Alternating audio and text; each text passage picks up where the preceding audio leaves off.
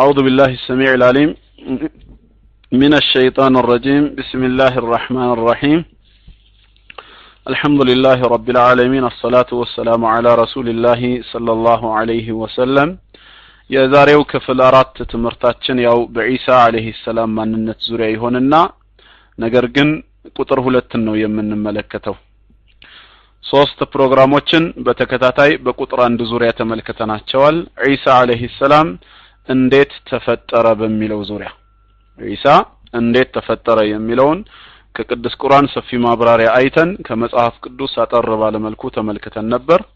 ዛሬ ሁለተኛው ነጥባችን ዒሳ አለይሂ ሰላም የአምላክነት ባህሪ አለው ወይስ የለውም? የአምላክነት ባህሪ አለው ወይስ የለውም በሚለው ዙሪያ ከቅዱስ ቁርአን ብቻ ነው የምንመለከተው ዛሬም። በቅዱስ ቁርአን ውስጥ ዒሳ አምላክ አለመሆኑ ከተገለጸባቸው መንገዶች ስድስቱን መንገዶች እንመለከትና ጌታችን አላህ ፍቃዱ ከሆነ ደግሞ በቀጣይ ቀናቶች ፕሮግራሙ ሲኖረን ከመጽሐፍ ቅዱስ በሰፊው የምንመለከታቸው ነጥቦች ይኖራሉ ማለት ነው። የዛሬው Part four ነው። ዒሳ አለይሂ ሰላም አምላክ አለመሆኑ ለሁላችንም ግልጽ ነው። አምላክ አለመሆኑም ጥርጣሬ ውስጥ የሚከት አይደለም። ነገር ግን እምነታችንን በማስረጃ የተደገፈ ለማድረግና በኢሳ አለይሂ ሰላም ጉዳይ ላይ የተሳሳተ ግንዛቤ ይዘው ማንነቱን ሳያውቁ ወሰን ያለፉበት አካላቶች አስተሳሰባቸውን እንዲያርሙ ለማድረግ ማስረጃ መስጠት ስለሚጠበቅብን ኢንሻአላህ ሁጃ ለማቆም በእነሱ ላይ ማስረጃውን ለማቆም ስንል ከቅዱስ ቁርአን ጀምረን ማስረጃችንን እንሰጣቸዋለን ማለት ነው እነዚህ ስድስት ማስረጃዎች ከጌታችን ከአላህ ቃል ለዛሬ የምንመለከታቸው ናቸው። አላህ ይወፍቀን እነዚህን ለመስማት።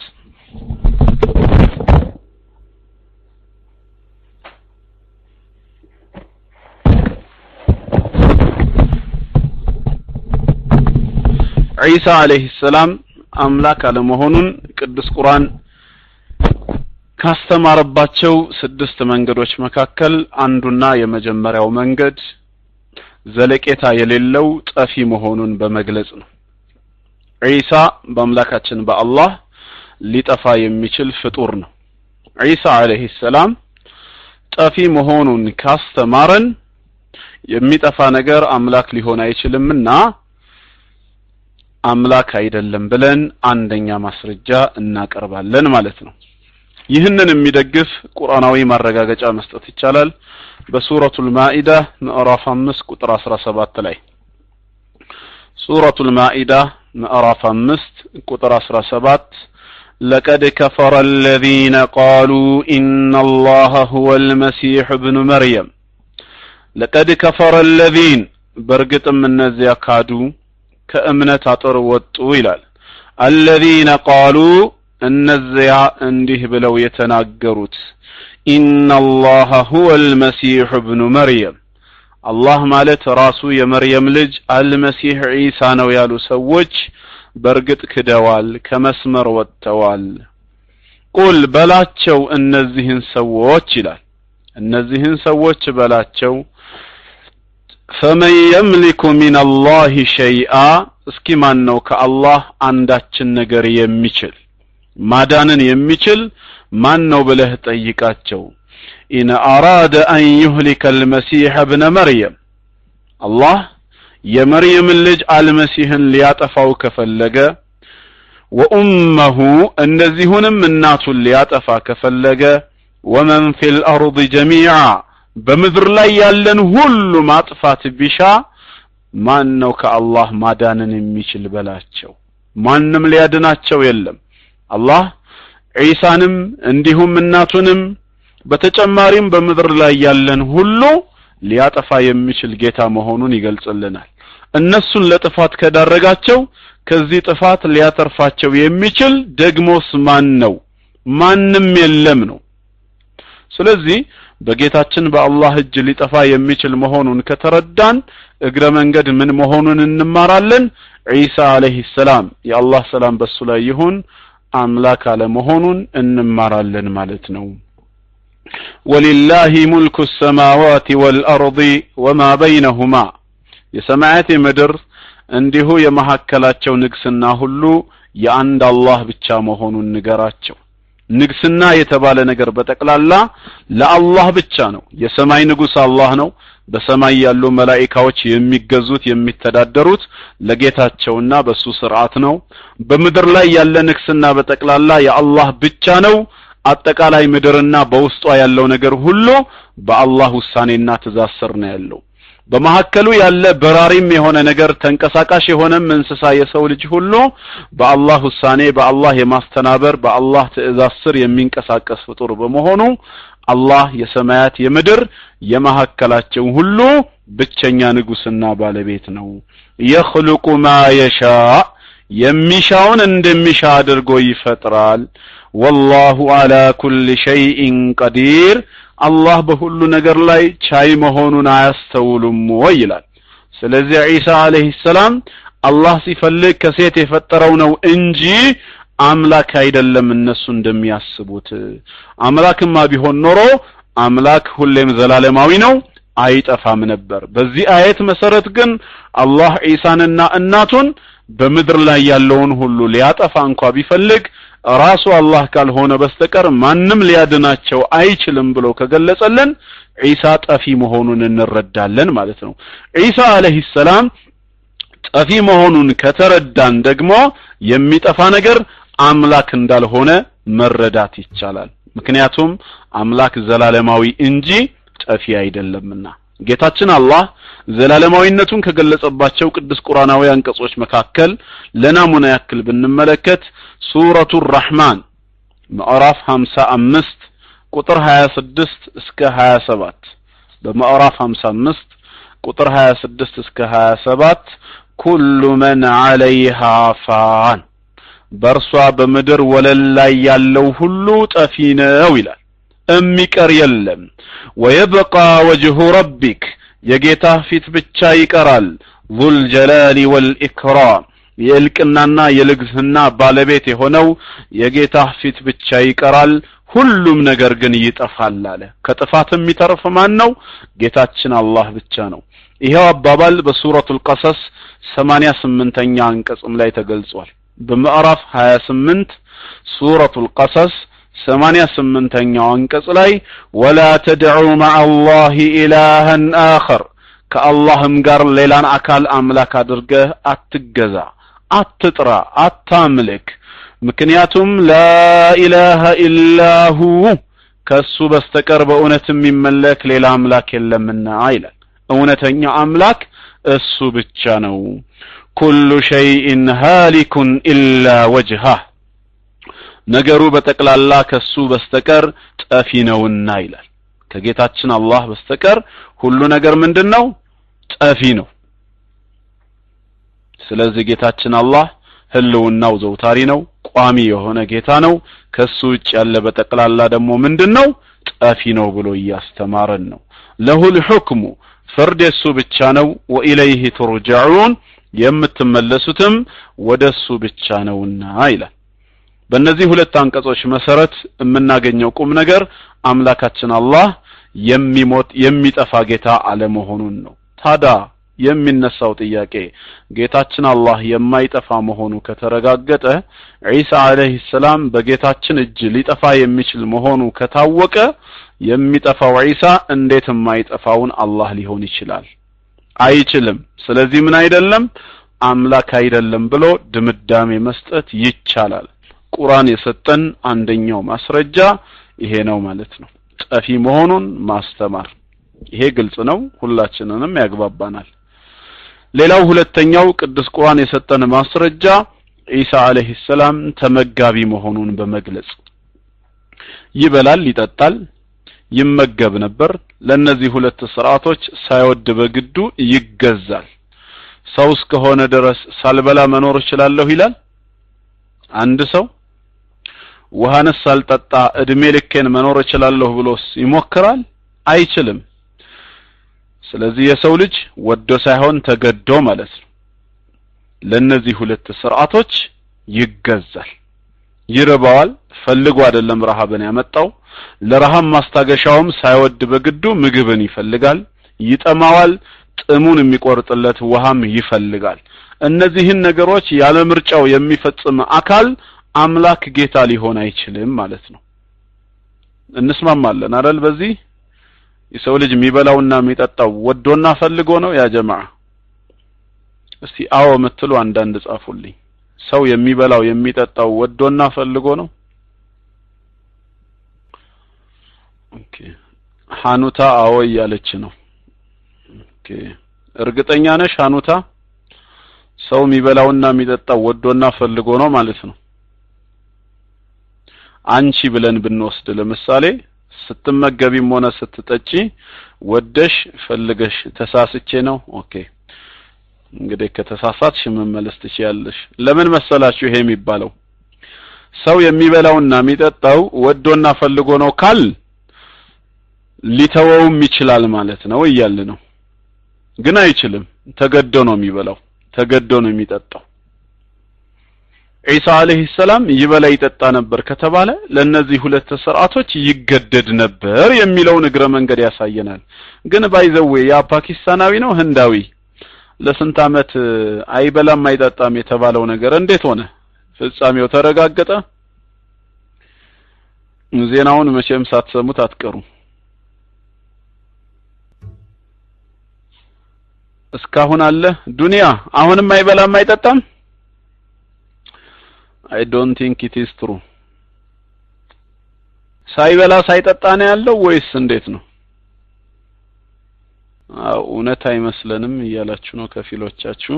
ኸይር መረጃውን ስታገኙ እንግዲህ መረጃ የደረሳችሁ ጊዜ ትነግሩናላችሁ። ታዲያ ቅዱስ ቁርአን ይህንን እንደ ማስረጃ ያቀረበበት ቦታ አለ። በሱረቱል ማኢዳ ምዕራፍ አምስት ቁጥር ሰባ አምስት አቡ መርየም በግሉኮስ ነው የሚወስደው አልክ። ታዲያ እየበላ ነዋ። ምግብ ወደ ሰውነት የማድረሻ መንገዱን ቀየረው እንጂ ሰውየው እየበላ ነው ማለት ነው። ሲስተሙን ቀየረው። ልክ ሰውየው إن الله يرزق من يشاء بغير حساب አላህ ሰዎች ሳይለፉ ሳያርሱ ሳይቆርሱ እንኳ ያለ ሰበብ ይረዝቃል፣ ሲሳይ ያበላል ሲባል በግርድፉ መስጂድ ላይ ዳዕዋውን ይሰማል። በግርድፉ ጥቅላዊ መልእክቱ ሳይገባው ዳዕዋውን ሲሰማ እውነት እስኪ ይሄ ከሆነ አልበላም አልጠጣም አላህ ራሱ ያበላኝ ይልና እንደውም ጫካ ይገባል ይላሉ። ከምግብ ርቆ ማለት ነው። ዛፍ ላይ ሄደው ቁጭ ይላል። አላህ ራሱ ያብላኝ ራሱ ያጠጣኝ። እንደ አጋጣሚ አካባቢው ላይ ሽፍቶች ይመላለሱ ነበር። ታዲያ ሽፍቶች እየተመላለሱ እያለ እሱ በተንጠለጠለበት ዛፍ ስር በአንድ ትልቅ በርሜል የታሸገ ነገር ይመለከታሉ። ከፍተው ሲያዩት ምግብ ነበረ። ታዲያ ለመብላት ሁሉም ቋመጠ፣ ጓጓ። ከመካከላቸው ግን አንድ አስተዋይ ቆይ ቆይ ቆይ ከመብላታችሁ በፊት አንድ ነገር እናስብ። ምናልባት ይሄንን ምግብ ያስቀመጠው ሰው መርዝ ከቶበት እኛ ስንበላ እኛን ለመግደል ታስቦ ስለሆነ እስቲ በአካባቢው ሰው መኖር አለመኖሩን ቅድሚያ እናጣራ ተባለ። ሲያስሱ ሲያስሱ አካባቢው ላይ አጡት። መጨረሻ ላይ ቀና ሲሉ ዛፉ ላይ አንድ ሰው ተቀምጦ አዩ። ኦ ይሄ ሰው ነው እንዴ? ከላይ ሆኖ እኛን እየተመለከተ መርዝ ጨምሮበት እኛ ስንበላው ስንሞት እሱ እየሳቀ ሊመለከተን። ስለዚህ ራሱ ነው መጀመሪያ መብላት ያለበት። ናውረድ አሉት። አልወርድም አለ። ከወረድኩኝ ሰበብ ነዋ ሰበቡኛለሁ ያለ ምንም ሰበብ አላህ ራሱ ያብላኝ። እስኪ ዛሬ በተግባር ማየት ያለብኝ አልወርድም አለ። ከዛ በኋላ አንዱ ከላይ ወጣና ገፍትሮ መሬት ላይ ወርውሮ ጣለው። ና አሉትና እኛን ለመግደል ያሰብከው ሴራ ስለተጋለጠ በል ቅመስ ጉረሰው አሉት። አሁንም እጄን አንስቼ ከጎረስኩኝ ሰበቡ ሆኛለሁ ማለት ነው። ስለዚህ አልጎርስም አልበላም አለ። ምላሽ ሰጣቸው ከነፍስያው ጋር እያወራ ያለ ሰበብ አላህ እንዲረዝቀኝ ነው ዛሬ የምፈልገው ብሎ ነይቷል። ብላ ቢሉት ቢመቱት እምቢ አለ። አንድ ነገር መጣላቸው። ያለው አማራጭ ምንድነው? ተመካከሩና ሁለቱ ከኋላ በኩል ሆነው አንዱ በቀኝ በኩል ሌላው በግራ በኩል ጆሮው አካባቢ በጥፊ ሲያጮሉት ዋይ ብሎ ሲጮህ አፉን ሲከፍት ሶስተኛው ደግሞ ከፊት ለፊት ሆኖ ምግቡን ሊያጎርሰው ራሱ እንዲሞት ሊያደርግ በቃ ይሄ ነው ያለን አማራጭ አሉና ልክ ሁለቱ ከኋላ በኩል ሆነው በጥፊ ሲያጮሉት ዋይ ብሎ ሲጮህ ሶስተኛው ከፊት ለፊት ያለው ሲያጎርሰው ምግቡ ቀጥታ ወደ ጉሮሮ ሲሄድ إن الله يرزق من يشاء بغير حساب እውነትም አላህ ያለ ምንም ግምት የሚፈልገውን ሰው ይረዝቃል እንዴ? አቡ ኢትዮጵያ ነው ወይ ይላል። ማልኮም ካናዳ ነው። ካናዳ ጫካ የለም እንዴ አቡ ኢትዮጵያ እና ወደ ነጥባችን እንምጣና ለማንኛውም ሪዝቅ ለማግኘት መልፋት ያስፈልገናል። ከእናንተም ውስጥ ይህንን ሀዲስ ሰምታ ነው መሰለኝ። እህታችን ፌቱካ ጫካ መግባት ነው ብላ nickname create ያደረገችው ባህታዊነትን ኢስላም አይፈቅድም። لا رهبانية في الإسلام ተብሏል። በእስልምና ብህትውና የለም ሰበብ መሆን አለብን። በእርግጥ የሚያበላ የሚያጠጣ አላህ ነው። ካስፈለገም ያለ ምንም ሰበብ ይረዝቃል። ወፍ እስኪ ምንድን ነው የምትሰራው ሰበብ? ለወፍ አታርስ አትነግድ ምን አትል? ከጎጆዋ ስትወጣ በጠዋት አሉ ነቢያችን አለይሂ ሰላቱ ወሰላም ባዶዋን ትወጣለች። ወዴት እንኳን እንደምትሄድ እኮ አታውቅም። ዛሬ ናዝሬት ነው የምንሄደው ወይ ደብረ ዘይት ነው? እንደ ሰው እኮ የለም። አላህ ነው የሚመራቸው አይደል እንዴ? በአየር ላይ ሆነው ሩቅ ቦታ ላይ ይመራቸዋል። ስትመለስ ሆዷን ሞልታ ትመለሳለች ነው። ግን ነቢያችን አለይሂ ሰላቱ ወሰላም ምን ታራ ዙራ እኮ ስትለቅ ምሳሌሃት እህል በረንዳ እኮ የት እንደሆነ አውቃው እኮ አይደለም። ጌታዋ ነው የሚመራት። ካለችበት ሰፈር ተነስታ እህል በረንዳ የት አካባቢ እንደሆነ ምን ታውቅና? አላህ ራሱ መልት መርቷት ነው እንጂ። ግን ነቢያችን ሰለላሁ ዐለይሂ ወሰለም ሐቀት ተወኩል ስላላት ነው ነው ያሉት ተወኩሏ በአላህ ላይ ያላት መመካት ሪል ጫፍ ድካ የደረሰ ነው። እናንተም እንደሰው አይነት ተወኩል ቢኖራችሁ ለረዘቀኩም ሲሳይን ይለግሳችሁ ነበር ነው ያሉት። አላህ ምን አንሶት? እና ኢሳ አለይሂ ሰላም ይበላ ይጠጣ ነበር የሚለውን እስቲ በማስረጃ እንመልከተው። ሱረቱል ማኢዳ ምዕራፍ አምስት ቁጥር ሰባ አምስት ላይ ما المسيح ابن مريم إلا رسول قد خلت من قبله الرسل المسيح ከሱ በፊት እንዳለፉት መልእክተኞች እሱም ያለፈ መልእክተኛ እንጂ ሌላ አይደለም ከዛ ውጪ የተለየ ስልጣንና ደረጃ ያለው አይደለም እሺ እሺ ኸይር ዊስፐር። እኔ እኮ ጫካ የምገባው ሰውና ስልክ አልበረክት ብሎኝ ነው። ስልክ ላይ በረክት ይችላል። ወንድሞችና እህቶች ግን በረከት አላቸው። የዱንያ ወንድሞች የዱንያ እህቶች በኢማን ከተሳሰሩ በአኼራም ወንድማሞች እህትማሞች ናቸው። ሰው አልበረክት አለኝ አይባልም። ይኸው ይሄ ያገናኘን ወንድማሞች እህትማሞች ሆነን በ لا إله إلا الله ስለተሳሰርን አይደለም እንዴ? ሌላ የት ያገናኘን ነበር? ከተለያየ አህዋል ውስጥ الحمد لله አላህ ተውፊቁ ሆነና አሰባሰበን። በዚህ room ሰበብ ለዚህ room ሰበብ እንግዲህ መከፈት ዋና ምክንያት የሆኑት ወንድሞችና እህቶችን አላህ ኸይሩን ድርብ አድርጎ ይክፈላቸው።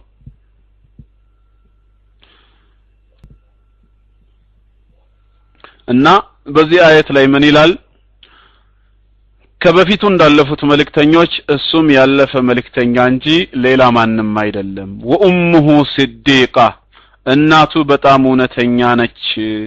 ካና ያእኩላን ጣዓም ሁለቱም ምግብን ይመገቡ ይበሉ ይጠጡ ነበር ይላል። ተመልከቱ እዚህ ጋር። መሀል ሻሂዱ እዚህ ጋር ነው። እንደ ማስረጃ አድርጎ ለመጥቀስ የተፈለገው። ካና ያእኩላን ጣዓም ይበሉ ይጠጡ ነበር አለ ዒሳና መርየም እንደሚበሉና እንደሚጠጡ ግራ የሚገባው ሰው ኖሮ ነው እንዴ ቁርአን ይሄን መናገር ያስፈለገው? ይሄ እኮ ማንም ሰው የሚያውቀው እውነት ነው። ሰው እስከሆኑ ድረስ ይበላሉ ይጠጣሉ። መርየምና ዒሳ አለይሂም ሰላም የአላህ ሰላም በሁለቱም ላይ ይሁን። ለምንድን ነው ግን በዚህ አየት ላይ ለየት ባለ መልኩ ይበሉ ነበር ይጠጡ ነበር ተብሎ መጠቀስ ያስፈለገው? አሁን እዚህ ጋር ያስፈለገው ወሰን ያለፈባቸው አካል አመለካከቱን እንዲያስተካክል ስለተፈለገ ነው። ሌላ ምንም አይደለም። ትምህርት እየሰጠን ነው ቅዱስ ቁርአን። አምላክ ዒሳን አምላክ አድርጎ የሚያመልክ ሰው የሚጠራ ሰው መርየምን የአምላክነትን ስልጣን እየሰጠ እሷን የሚለምን የሚማጸናት ሰው ይበሉ ነበር ይጠጡ ነበር ካለ አንድ ቁም ነገር ብቻ እንዲወስድና እንዲማር ተፈልጓል። ምንድነው እሱም ከበሉ ከጠጡ መብላትና መጠጣት ራሱ የሚያስከትለው ነገር አለ። ሰው ከጠጣ በኋላ መሽናት ግድ ነው። ከተመገበ በኋላ ደግሞ ከሰውነቱ ቆሻሻውን ማስወጣት አለበት። እነዚህን ተግባራት እንደሚፈጽሙ ያው በቤት ስራ መልክ እናንተው እወቁት ነው። ሁሉም የሚያውቀው ነው። ታዲያ ይህንን ስራ እየሰሩ እንዴት አድርጋችሁ እንደ አምላክ ትወስዷቸዋላችሁ እያለ ጌታችን እኮ እያስተማረ ነው ይህንን ሊነግረን ፈልጎ ነው። ተግባብተናል ያ ጀማዓ። መብላት መጠጣት የደካማ መክሉቅ ባህሪ እንጂ የኻሊቅ ባህሪ አይደለም። ታዲያ ከበሉ ከጠጡ የበላ ሰው ምን ይሆናል ነው? ግን አይረሳኝም። ከአስራ ስንት ዓመት በፊት ወደ ካራ ቆሬ አካባቢ አንድ church ላይ ከአንድ ወንጌላዊ ጋር ስወያይ የዛኔ የመለሰልኝ መልስ እስከ ዛሬ አይረሳኝም። በመጽሐፍ ቅዱስ ውስጥ ጥቅስ አውጥቼ ያሳየሁትና ኢየሱስ በለምጻሙ በቢታንያ ቤት እያለ ምግብ ቀረበለት እንትና ጋር ሆኖ ተራብኩኝ አለ። እንደዚህ እንደዚህ ያለ የሚሉ ጥቅሶችን አሳየሁትና ይበላ ይጠጣ ነበር አልኩት። አዎ ይበላል ይጠጣል አለኝ። እኛን ለማዳን ሰው ሆኖ የሰው ስጋ ለብሶ ስለመጣ ይበላ ይጠጣ ነበር አለኝ። በጣም የሚገርማችሁ ግን ታዳ ከበላ ከጠጣ እኮ መብላትና መጠጣት የሚያስከትሏቸው ነገሮች አሉ። ለምሳሌ አንድ ሰው ጠጥቶ ይሸናል አልኩት።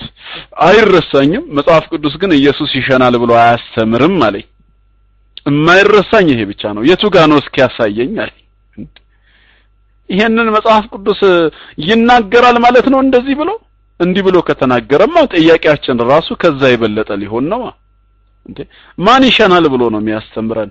ግዴታ መሽናቱን ለማረጋገጥ ይሸናል የሚል ጥቅስ በመጽሐፍ ላይ ማግኘት አለብን ሐቅ ለመናገር ከሆነ ይሄ ማንም የሚያውቀው እውነት ነው። ታዲያ የሚበላውና የሚጠጣው የት ይገባል? እና አንዳንድ ጊዜ ለማደናገር ምናልባት ወይ ባነጋገር ብልህነት እናልፈዋለን ብሎ ከታሰበ የታለ እንደዚህ የሚል ማስረጃ የለም ሊሉ ይችላሉ። አላኩል ያህል በአሁን ሰዓት እንደዚህ ብሎ የሚያስብ ሰው እንኳ የለም። ታዲያ ኢሳ ከበላ ከጠጣ እንዴት አምላክ ይሆናል በማለት ጌታችን አላህ ያነሳው ጥያቄ አለ ማለት ነው ይተን ይሆናል። ይሁን እንግዲህ። ሐስቡናላህ። አምላካችን አላህ ግን ሶማኒ ኦሪት ዘዳግም 23 አንድ ከሱ በላይ ያናግራል አቡ። ሶማኒ ይሄን ጥቅስ በጣም ትወደዋለህ አንተ? እንዴት ነው? ሁሌ ትጠቅሰዋለህ? እሺ። እና አምላካችን አላህ ፈጣሪያችን ጌታችን ግን በፍጹም የማይበላ ጌታ መሆኑን የማይጠጣ ጌታ መሆኑን በቅዱስ ቁርአን ላይ ነግሮናል ሱረቱል አንዓም ቁጥር 14ን ማየት ይቻላል በሱረቱል አንዓም ምዕራፍ 6 ቁጥር 14 ቁጥር 14 ላይ ቁል በላቸው أغير الله أتخذ وليا فاطر السماوات والأرض አላህ የሰማያትና የምድር ፈጣሪ ሆኖ ሳለ እኔ ከሱ ውጪ ወዳጅን ይይዛለሁ እንዴ በላቸው ይላል። أغير الله أتخذ وليا እኔ ከአላህ ሌላ ወዳጅን ዋቢን ይይዛለሁን فاطر السماوات والأرض የሰማያትና የምድር ፈጣሪ ሆኖ ሳለ ጌታችን አላህ ከእሱ ውጪ ወዳጅን ይይዛለሁን وهو يطعم እሱ ፍጥረታትን የሚመግብ ولا يطعم ለራሱ ግን የማይመገብ ሆኖ ሳለ ይላል ጌታችን አላህ ይመግባል ያበላል ነገር ግን ለራሱ አይመገብም። ቁል በላቸው ኢኒ ኡሚርቱ አን አኩነ አወለ መን አስለም። ትእዛዝን ከተቀበሉ ሰዎች መካከል የመጀመሪያው እንደሆንም ታዝዣለሁ በላቸው። ወላ ተኩነነ ሚን አልሙሽሪኪን ከአጋሪዎች ከሙሽሪኮችም እንዳትሆን ተብዬ ታዝዣለሁ ስለዚህ በዚህ አየት መሰረት አምላካችን አላህ ፍጡሩን የሚመግብ ለራሱ ግን የማይመገብ ጌታ መሆኑን ማረጋገጥ ይቻላል። በተጨማሪ ሱረቱ ዛሪያት ምዕራፍ 51 ከ56 እስከ 58 ከ56 እስከ 58 ባለው ላይ ወማ ኸለቅቱ ልጅነ ወልኢንሰ ኢላ ሊያዕቡዱን ሰዎችንም ሆነ አጋንንቶች እኔን ሊያመልኩኝ ሊገዙኝ እንጂ ለሌላ ዓላማ አልፈጠርኳቸውም። የፈጠርኳቸው ለዒባዳ ነው። እና አላህን በመገዛቱ ሂደት ደግሞ የሰው ልጅ ሪዝቅ ያስፈልገዋል ሲሳይ ስለሚያስፈልገው ما أريد منهم من رزق እኔ ከነሱ ሲሳይን አልፈልግም። وما أريد أن يطعمون እንዲመግቡኝም አልሻም።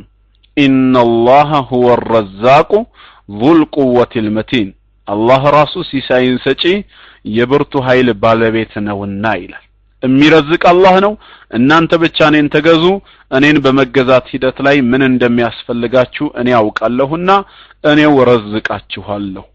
እኔው ሲሳይ ሰጪ የብርቱ ኃይል ባለቤት ነኝ በማለት ጌታችን አላህ ይናገራል። ከዛ ውጭ ግን አምላካችን አላህ አይበላም አይጠጣም። ያበላል ይጠጣል ያጠጣል። ስለዚህ ኢሳ አለይሂ ሰላም ተመጋቢ ከሆነ ጌታችን አላህ የማይመገብ ከሆነ የሚበላውና የሚጠጣው ኢሳ የማይበላውን አላህ ሊሆን አይችልም ብለን በሁለተኛ ማስረጃ አምላክ ላለመሆኑ እናቀርባለን ማለት ነው። ሶስተኛ ደግሞ ወደፊት ሟች መሆኑን በመግለጽ ቁርአን እንደሚያስተምረን የመርየም ልጅ ዒሳ እኛ ሙስሊሞች አልሞተም ብለን ነው ምናምነው ነገር ግን አይሞትም አንልም።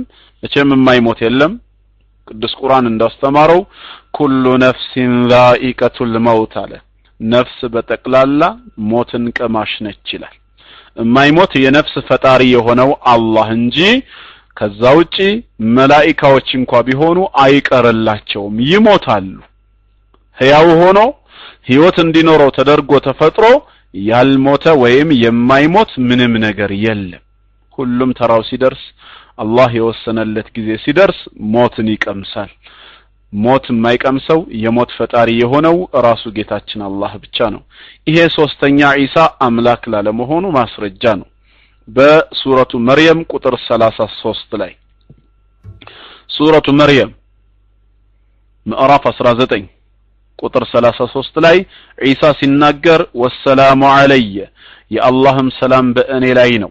የውመ ውሊድቱ በተወለድኩበትም ቀን ወየውመ አሙቱ በምሞትበትም ቀን ወየውመ ኡብዓቱ ሐያ ሕያው ሆኜ ከመቃብሬም በምቀሰቀስበት ቀን የአላህ ሰላም በእኔ ላይ ነው ይላል። በእነዚህ ሶስት ሁኔታዎች የአላህ ሰላም እንደማይለየው ተናግሯል ዒሳ አለይሂ ሰላም። በተወለደበት በሚሞትበትና ሕያው ሆኖ በሚቀሰቀስበት። ስለዚህ ሟች ነው። ጊዜው ሲደርስ ወደፊት መሞቱ አይቀርም ማለት ነው። ዒሳ ይሞታል። ከሞተ እንዴት አምላክ ይሆናል? አንድ የማይረሳኝ የልጅነት ጨዋታ ትዝ ይለኛል። ከአስራ አምስት ዓመት በፊት እዚሁ ጦር ኃይሎች ሆላንድ ኤምባሲ አካባቢ የሚባለው ሰፈራችን ላይ ከክርስቲያኖች ጋር እንደዚሁ ሰፈር ስንጫወት ይሄ በስቅለትና በትንሣኤ ቀን በሚሉት ጊዜ አንድ የሚናገሩት ንግግር አይረሳኝም ድሮ ቅዳሜ ቀን የተወለደ መንግስተ ሰማይ አይገባም የሚለው ንግግራቸው ጓደኞቻችን።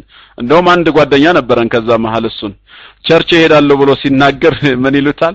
አንተ ምን ያደርግልሃል? ጌታ አያውቅህም ይሉታል። እንዴት ሲባል የተወለድከው በቅዳሜ ቀን አይደለም ወይ? ጌታ በሌለበት ቀን ስለተወለድክ አንተን ጌታ አያውቅህምና መንግስተ ሰማይ አትገባም። አርብ ዕለት ተሰቅሏል ብለው አይደል ክርስቲያኖች የሚያምኑት? እሁድ ትንሣኤው ነው ይላሉ ቅዳሜ በመሃል ያለችው የማማትን ቀን አያቸው ታዲያ ጌታ በሌለበት በቅዳሜ ቀን ነው የተወለድከው። አያውቅህም ምን ያደርግልሃል ሲሉ ሲያሾፉ አይረሳኝም። ድሮ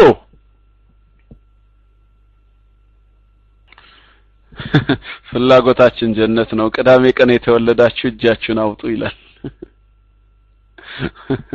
ምን ልትላቸው ነው? whisper جزاك الله። okay خير። እና ውሸት እንደሱ የሚባል የለም። ጆይ መጽሐፍ ቅዱስ ይላል አይደለም ያልኩት? ወይም አንተ ብለሃል አይደለም? ድሮ በልጅነት ጊዜ ይህንን ክርስቲያን ወገኖቻችን ይናገሩ ነበር ነው ያልኩት። አንተ ውሸት ነው ብለህ ለመናገር ቢያንስ የሰፈሬ ልጅ መሆን አለብህ። ቀልድ አይደለም ሃን ሙስሊም real ነው። real ይናገሩ ነበር። እና ይሄን ለማስተባበል ግዴታ ወይ የሰፈሬ ሰው መሆን አለብህ። ካልሆነ አንድ ነገርን ውሸት እንዴት ብለህ ትናገራለህ ውሸት የምትለው ግዴታ ውሸት ለመሆኑ ማስረጃ ሲኖርህ ብቻ ነው።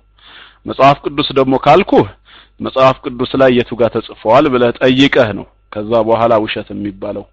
እና ጆይ ዝም ብሎ አንድ ሰው ዋሽተሃል አይባልም ከማስረጃ ጋራ ነው እንጂ በማታውቀው ሰፈር ወይ እኔን አታቀኝ ወይም ወይ ጓደኞቼን አታቃቸው አንተ ሰፈር ምናልባት ያልተባለ ከሆነ በዛ መልክ መናገር የለብህም ነው ወይ ደግሞ መጨረሻ ላይ በ mic መናገር የምትፈልገው ነገር ካለ on the mic ትናገራለህ።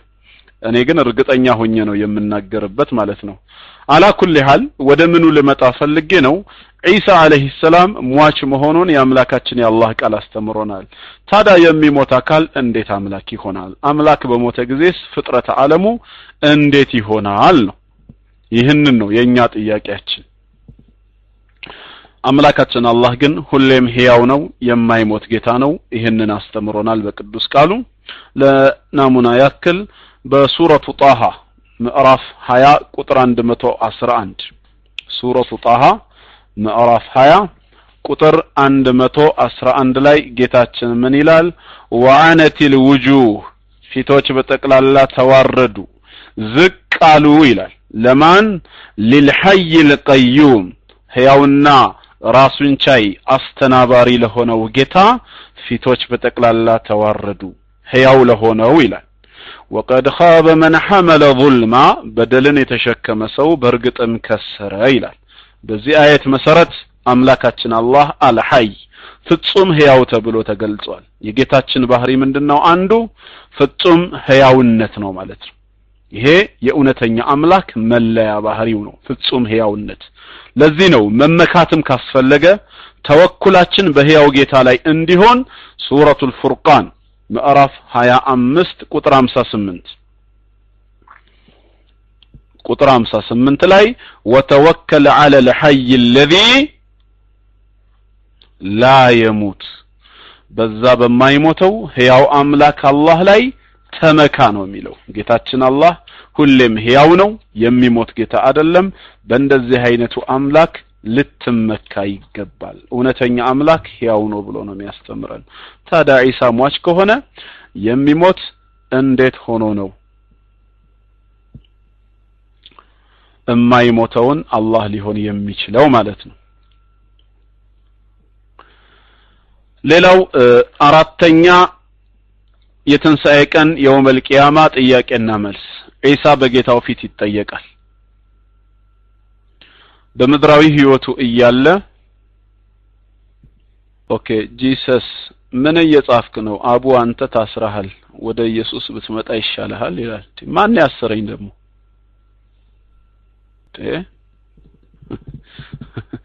ማሰሪያ እኮ እየፈለግኩ ነው። እና እስቲ እጅ ማን እንዳሰረኝ ንገረኝ ወደ ኢየሱስ ብትመጣ ይሻልሃል እያለኝ ነው። አላህ ሂዳያ ይስጥህ ወገናችን። ኢየሱስ ራሱን መጠጊያው አላህ ነበረ። ወደ አላህ ይጠጋ ነበረ። በቸገረው በጨነቀው ሰዓት እባክህ አድነኝ ብሎ ሲለምነው የነበረው አላህን ነው። እኔም ወደ ኢየሱስ ጌታ ኢየሱስን ተከትዬ ወደ ኢየሱስ ጌታ መጥራት ሲገባኝ እንዴት አንተ ወደ ኢየሱስ እኔን ጠራኸኝ በቸገረው ሰዓት አባት ወይ ከዚህ ሰዓት አድነኝ እያለ ሲለምን ነበረ እንጂ እኔ አለሁላችሁ እያለ አልነበረም። ለማንኛውም እስር ውስጥ አይደለሁም ያለሁት። ከኃጢአት ባርነትም ነጻ ሊያወጣን የሚችለው አላህ ነው። ከዘላለማዊ እስርም ከጀሃነም እሳት የሚያተርፈን አላህ ነው። እና ትክክለኛው ኢየሱስ በኢስላም ውስጥ ስለሆነ ያለው ወገናችን ና ወደ ዒሳ ብለን እኛ እንጠራሃለን እኛ ሙስሊሞች ዒሳን አልለቀቅ ነው የዒሳ ትክክለኛ ማንነት ያስተማሩን ነቢያችን አለይሂ ሰላቱ ወሰላም ናቸው። የአላህ ሰላምና እዝነት ቀንና ሌሊት በተተካኩ ቁጥር በሳቸው ላይ ይሁን። ትክክለኛውን ክብር እንድንሰጠው እንደ አይሁዶቹ እንዳናዋርደው እንደ ክርስቲያን ወገኖቻችን ደግሞ ያለ ደረጃው እንዳንሰቅለው አምላክ አድርገን እንዳንመለከተው ሚዛናዊ የሆነ እምነትን ከነቢያችን አለይሂ ሰላቱ ወሰላም አግኝተናል። ሰው ለእሳቸው ያለው ፍቅር እሳቸው ለኡማው በከፈሉት መስዋዕትነት የተነሳ ወሰን እንዳያልፍ እንኳ በመስጋት ላ ተጥሩኒ ከማ አጥረት ነሳራ ኢብነ መርየም ያሉት። ክርስቲያኖች የመርየም ልጅ ዒሳን ከነብይነት ስልጣኑ ከፍ አድርገው ከደረጃው በላይ ሰቅለው ጌታ አምላክ የአምላክ ልጅ ብለው እንደጠሩት አደራ በእኔ ላይ ወሰን እንዳታልፉ አሉ። ለኡማቸው ምን ያህል መጨነቃቸውን ያሳያል። አደራ ፈኢነማ አና አብዱን እኔ ባሪያ ብቻ ነኝ ነው ያሉት። ስለዚህ ፈቁሉ አብዱላሂ ወረሱሉሁ የተከበረ የአላህ ባሪያ ክቡር መልእክተኛው ብላችሁ ጥሩኝ ብለዋል ለሳቸው ትልቅ ሸረፍ ነው ይሄም በራሱ። ስለዚህ እኛ ወሰን ማለፍን አልተማርንም ነው። ነቢያትን ወደ አምላክ ደረጃ ከፍ አናደርግም ሌሎቹን ዝቅም አናደርጋቸውም።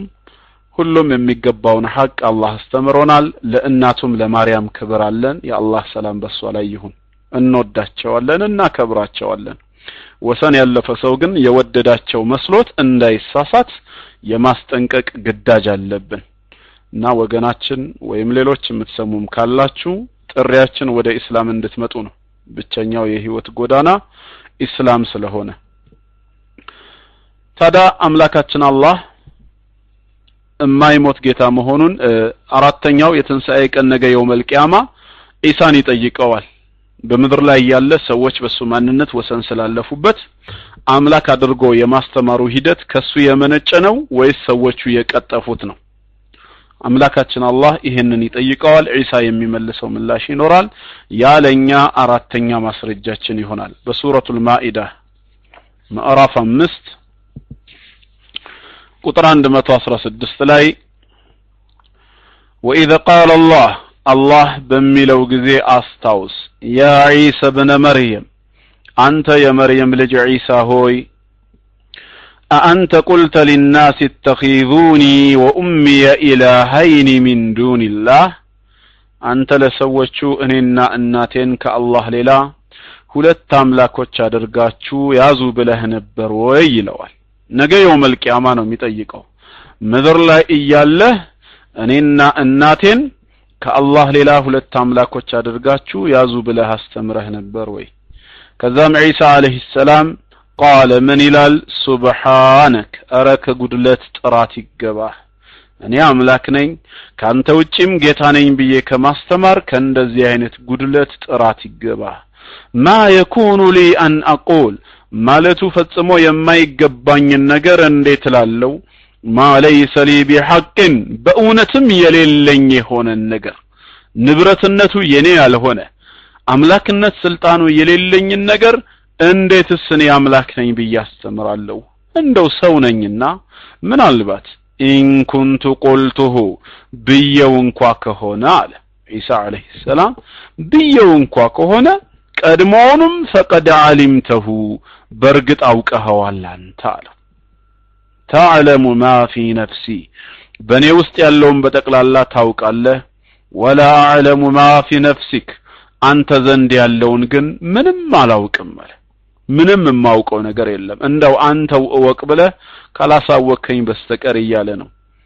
ኢነከ አንተ አላሙ ልጉዩብ አንተ ማለት ሩቆችን አዋቂ አንተው ብቻ ነህና ብሎ ምላሽን ይሰጣል።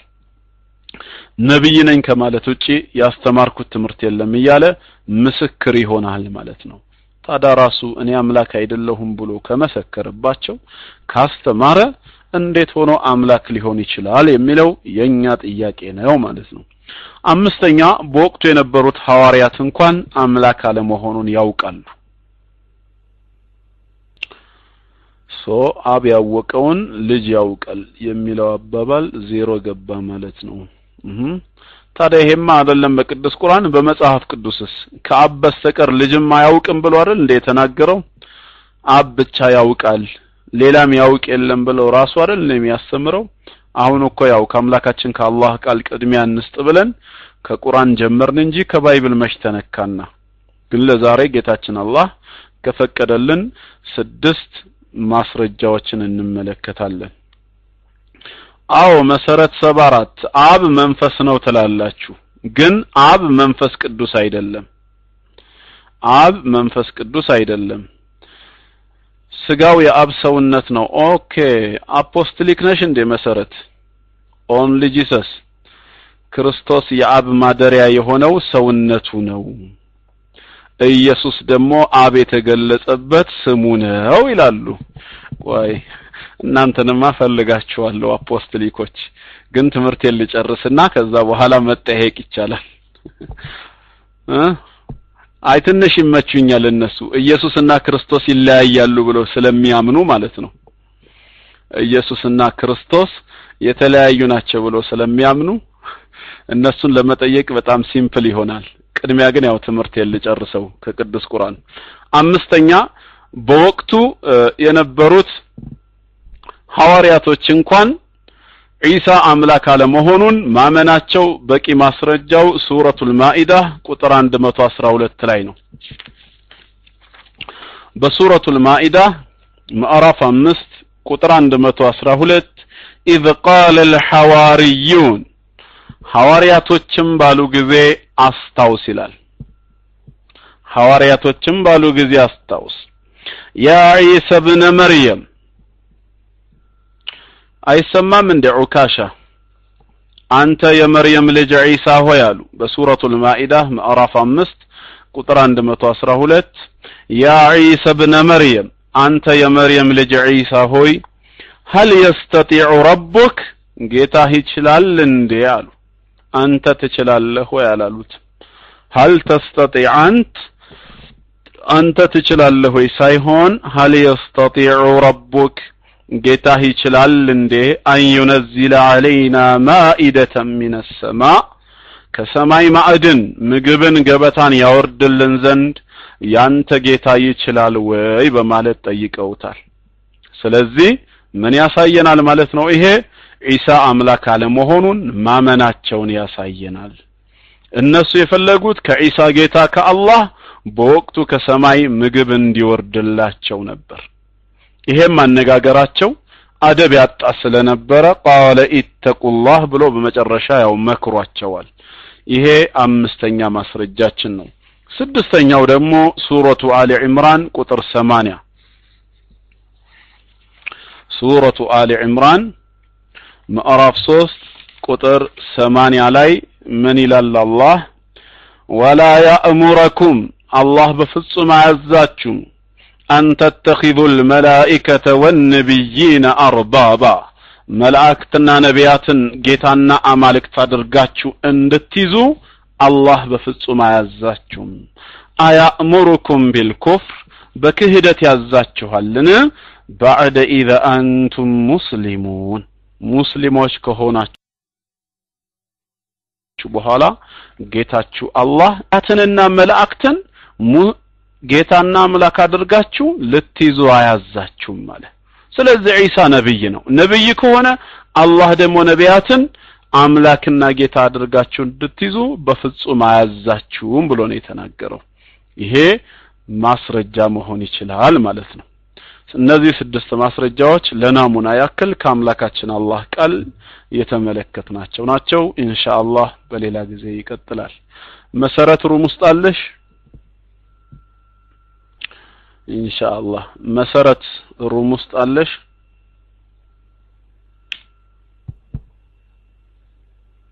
መሰረት underscore seven four የለሽም እንዴ? እንዴ? ሄቨን ምን ነው ገና ከመግባትሽ ጥያቄ ነበረኝ። አንቺማ የጥያቄ ሰው ነሽ በቃ። ሁሌ እንደገባሽ ትጠይቂያለሽ። red እንዲሰጥሽ ትፈልጊያለሽ by the way አንቺ ራስሽ ከጥያቄ ወጥተሻል እንደ ሄቨን? ገና ጥያቄ ውስጥ እኮ ነው ያለሽው አንቺ ራስሽ። okay ያው መሰረት ፈልጊያት ነበረ የሆነ ጥያቄ ለጠይቃት የለችም ስጠይቃት። አው nickname ዋ ይታያል አቡ ሙሐመድ ቆይ private ኤን የዘጋሁት። ያው ቅድም ሳስተምር ወንድሞችና እህቶች ሲጽፉ በ private disturb እንዳልሆን ብዬ ነው። እከፍትላችኋለሁ። እሺ on the topic ጥያቄ ያላችሁ እንግዲህ እጅ ማንሳት ትችላላችሁ። በኢሳ አለይሂ ሰላም ጉዳይ ጀምረናል። በቶፒኩ ላይ ጥያቄ ያላችሁ እጅ አውጥታችሁ መጠየቅ ትችላላችሁ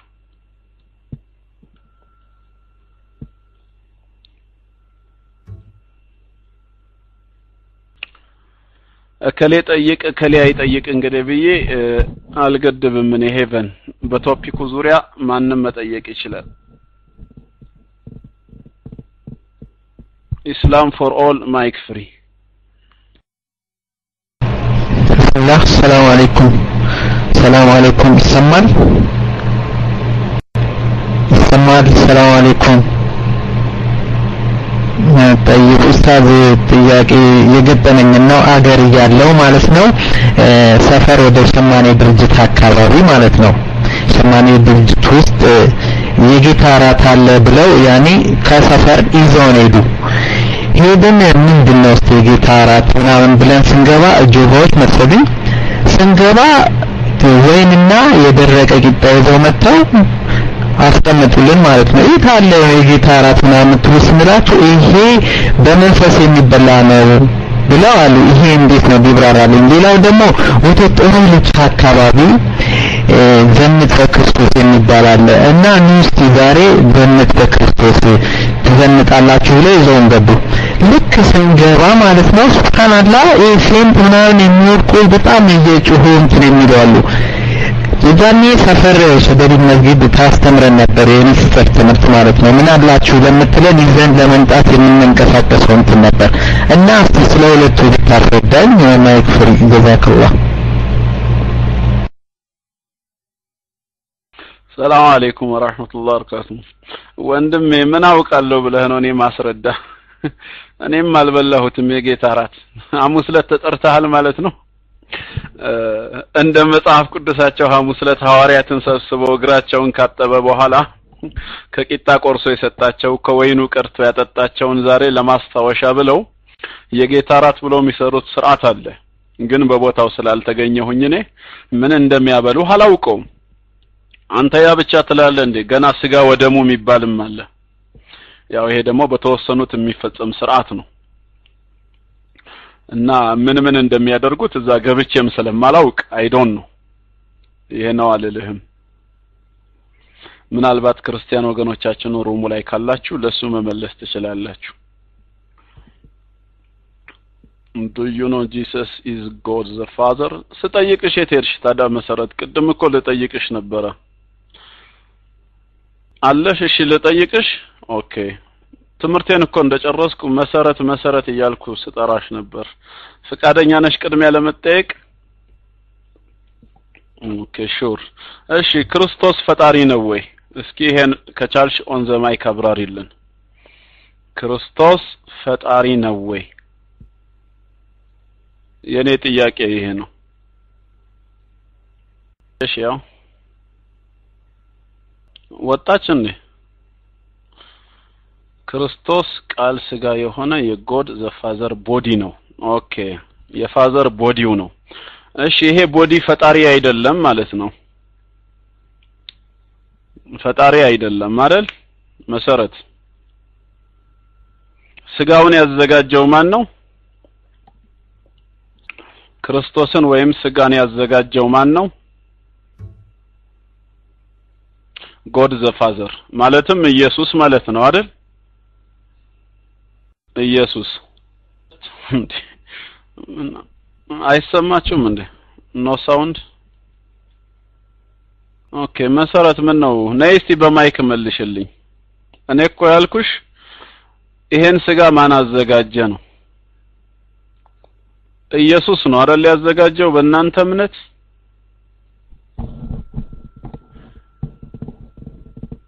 እኮ God the Father ስጋን አዘጋጀህልኝ ተብሎ ተጽፏል በዕብራውያን አስር አምስት ይሄ የተዘጋጀው ስጋ ደግሞ ክርስቶስ ነው አይደል? ክርስቶስ አይደለ የተዘጋጀው? ነፃ ሆነሽ እምነትሽን ግለጪ፣ ምንም ችግር የለም። እኮ ክርስቶስ የተባለው ልጅ ወልድ የምትይው የተዘጋጀውን ስጋ አይደለ እንዴ? መሰረት ነፃ ሁኚ። ክርስት አዎ እንደዚህ የስበኝ አውቀዋለሁ እኮ ቢያንስ። ስለዚህ አሁን ክርስቶስን ማን ያዘጋጀው? ክርስቶስን ማን ያዘጋጀው? ኢየሱስ ነው አይደል? ኢየሱስ ነው ያዘጋጀው ክርስቶስን። አብ ኢየሱስ አይደል? ታዲያ አብ ነው አልሽ። አብ ኢየሱስ ነው አይደል? ኢየሱስ አብ አይደለም? so ኢየሱስ አብ ከሆነ ኢየሱስ ማንን አዘጋጅቶታል? ክርስቶስን አዘጋጅቶታል ማለት ነው። ኢየሱስ ክርስቶስን አዘጋጅቶታል አስቀድሞ። ተስማማላችሁ በዚህ? ኢየሱስ ክርስቶስን እንዳዘጋጀው እንደሰራው ተስማማላችሁ? ኢየሱስ ክርስቶስን ወይ ጉድ! ነገሩ ለእናንተም ይከብዳችኋል፣ በደንብ አትረዱትም። እና በጣም ያሳዝናሉ። በኢየሱስና በክርስቶስ መካከል ልዩነትን ለመፍጠር ሲሞክሩ ምን ይላሉ መሰላችሁ? በብሉይ ኪዳን ጊዜ ይላሉ። እንግዲህ እምነታቸውን እኔው ልንገራችሁ። እግዚአብሔር ከነቢያት ጋር ይገናኝ የነበረው በመንፈሱ አማካኝነት ነበረ። በአዲስ ኪዳን ደግሞ ባዘጋጀው ስጋ በክርስቶስ ሰውነት ውስጥ ሆኖ ራሱን በመግለጽ ስሙንም ኢየሱስ በማለት የተገለጸበት ማለት ነው። ያ ኢየሱስ የሚለው የአብ ስሙ ይሁንና ያደረበት ሰውነቱ ዓለምን ከራሱ ጋር ያስታርቃል ብለው የሚያምኑበት ማለት ነው። ነይሽ wrong ከሆንኩኝ ሄቨን እስኪ አብራሪ አብራሪ። on the mic ነይና እምነትሽን እስኪ አብራሪ። ነይ ወደ mic። እና በክርስቶስ ውስጥ ሆኖ ዓለሙን ከራሱ ጋር ያስታርቃል በሚለው ደግሞ የሄዱና ክርስቶስ ማደሪያው ነው ሰውነቱ ነው ይላሉ። ኢየሱስ የአብ ስሙ ነው ይላሉ። ኢየሱስ የአብ ስም ከሆነ ክርስቶስ ማደሪያው ሰውነቱ ከሆነ ይሄ ሰውነት በዕብራውያን አስራ አምስት ስጋን አዘጋጀህልኝ ተብሎ ስለተጻፈ ተዘጋጅቷል። ማን ያዘጋጀው ስንላቸው አብ ይሉናል። አብ ማን ነው ስንላቸው ኢየሱስ ነው ይሉናል። so ኢየሱስ ክርስቶስን አዘጋጅቶታል ማለት ነው። ኢየሱስ ማንን አዘጋጅቷል? ክርስቶስን አዘጋጅቷል። ክርስቶስን ሰርቶታል። እንዲህ ከሆነ ጥያቄ ነበር። አሁን ግልጹ ጥያቄ ኢየሱስ ክርስቶስም እንዲህ አለ ይላል መጽሐፍ ቅዱስ። ማን ነው ያለው? ኢየሱስ ነው ወይስ ክርስቶስ ነው? ግልጹ ጥያቄ ይሄ ነበር። ሄቨን ቅድም እኮ ጥያቄ ካለሽ በ topic ኡ ዙሪያ on the mic ጥያቄ ያለሽ ብዬሽ ነበረ። ስለ ዒሳ አስተምሬ on the mic በጥያቄው ዙሪያ ማንም መጠየቅ በ topic ኡ ዙሪያ ማንም መጠየቅ ይችላል እያልኩ ነበር። mic free እስቲ። ሰላም ይሰማል mic ኤ? አይ አቡ ሀይደር ስታስተምር አልሰማሁም እና በዛ ዙሪያ መጠየቅ አልችልም ማለት ነው። ስታስተምር ስላልነበርኩ ማለት ያልሰማሁትን መጠየቅ አልችልም። እሺ mic ለቃል mic okay አብሽሪ ሄቨን፣ መቼም ጠይቂ ተብለሽ አትገደጂም። ሳስተምር የነበረው የመርየም ልጅ ዒሳ አምላክ እንዳልነበረ የአላህ ነብይና ባሪያ ብቻ እንደሆነ ነው እና ኢየሱስ አምላክ አይደለም ነው። በዚህ ጉዳይ ላይ ጥያቄ ያላችሁ ስል ነበርሽ። ያው አልነበርኩም ውሸት እንዴት እንደቀለለ እኔ እንጃ። ለማንኛውም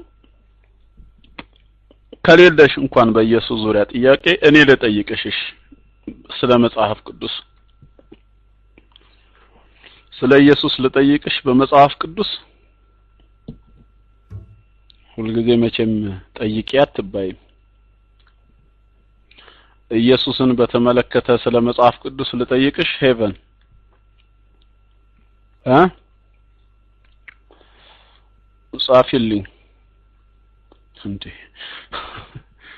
ምን ነው ከቁርአን ስለ ኢየሱስ ትጠይቅኛለሽ? እሺ ከ topic ኡ ሳንወጣ ስለ ኢየሱስ ነው ጥያቄሽ? እሺ ጨርሽ። እንደዛ ከሆነ ያለሽን ሁሉ ትጨርሻለሽ። ፈቅድልሻለሁ mic free እሺ አመሰግናለሁ። አይ አቡ ሀይደር አንተ ስታስተምር ስላልሰማው ነው። ግን ቁርአን ላይ ስለ ኢየሱስ እኔ ስለ ስለማን መጠየቅ አያገባኝም ማለት ስለ ኢየሱስ ማለት ስለ ኢሳ ቁርአን ላይ አይ እኔ ስለማያገባኝ ነው ማለት ስለ ሌላ ነገር እኔ ብዙም ጥያቄ የለኝም። እዛ ቁርአን ላይ ግን ስላለው ኢሳ ሁል ጊዜ ስለንተ ስለሚ okay። ጥያቄ ምንድነው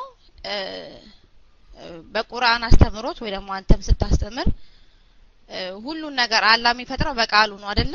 ሁን ሲል ይሆናል ትላል ብለህ ነው የምታስተምረው። ስለዚህ ልክ ነኝ ልክ ከሆንኩኝ ያው ካልሆነ ማይኩ ልስጥና እንዴ? ያ እኮ አለ ሁሉንም የሚፈጥረው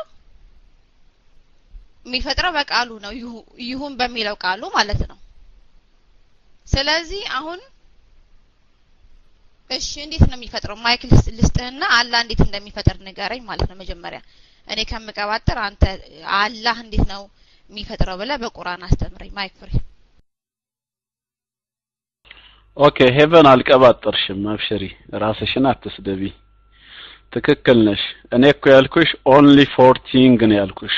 አራት ነገሮችን ቀጥታ ጌታችን አላህ በእጁ ሰርቷቸዋል ከዛ ውጭ ያሉትን ግን በቅዱስ ቃሉ ፈጥሯቸዋል። እንዳልሽው ቁርአን ሲናገር በምዕራፍ ሁለት ቁጥር 117 ላይ ኢነማ አምሩሁ ኢዛ አራደ ሸይአን አን የቁለ ለሁ ኩን ፈየኩን። የጌታችን ፈቃዱ አንድን ነገር መከሰቱን መኖሩን ሲሻው ሁን ይለዋል ወዲያውኑም ይሆናል አለ። አዎ በእጁ ሄቨን ለምሳሌ አባታችን አደም የሁላችንም አባት የሆነውን አደምን ጌታችን አላህ በእጁን የሰራው። ከዛም ሰው ሁን አለው ሰው ሆነ። ህልውናው በይሁንታ ቃል ተገኘ።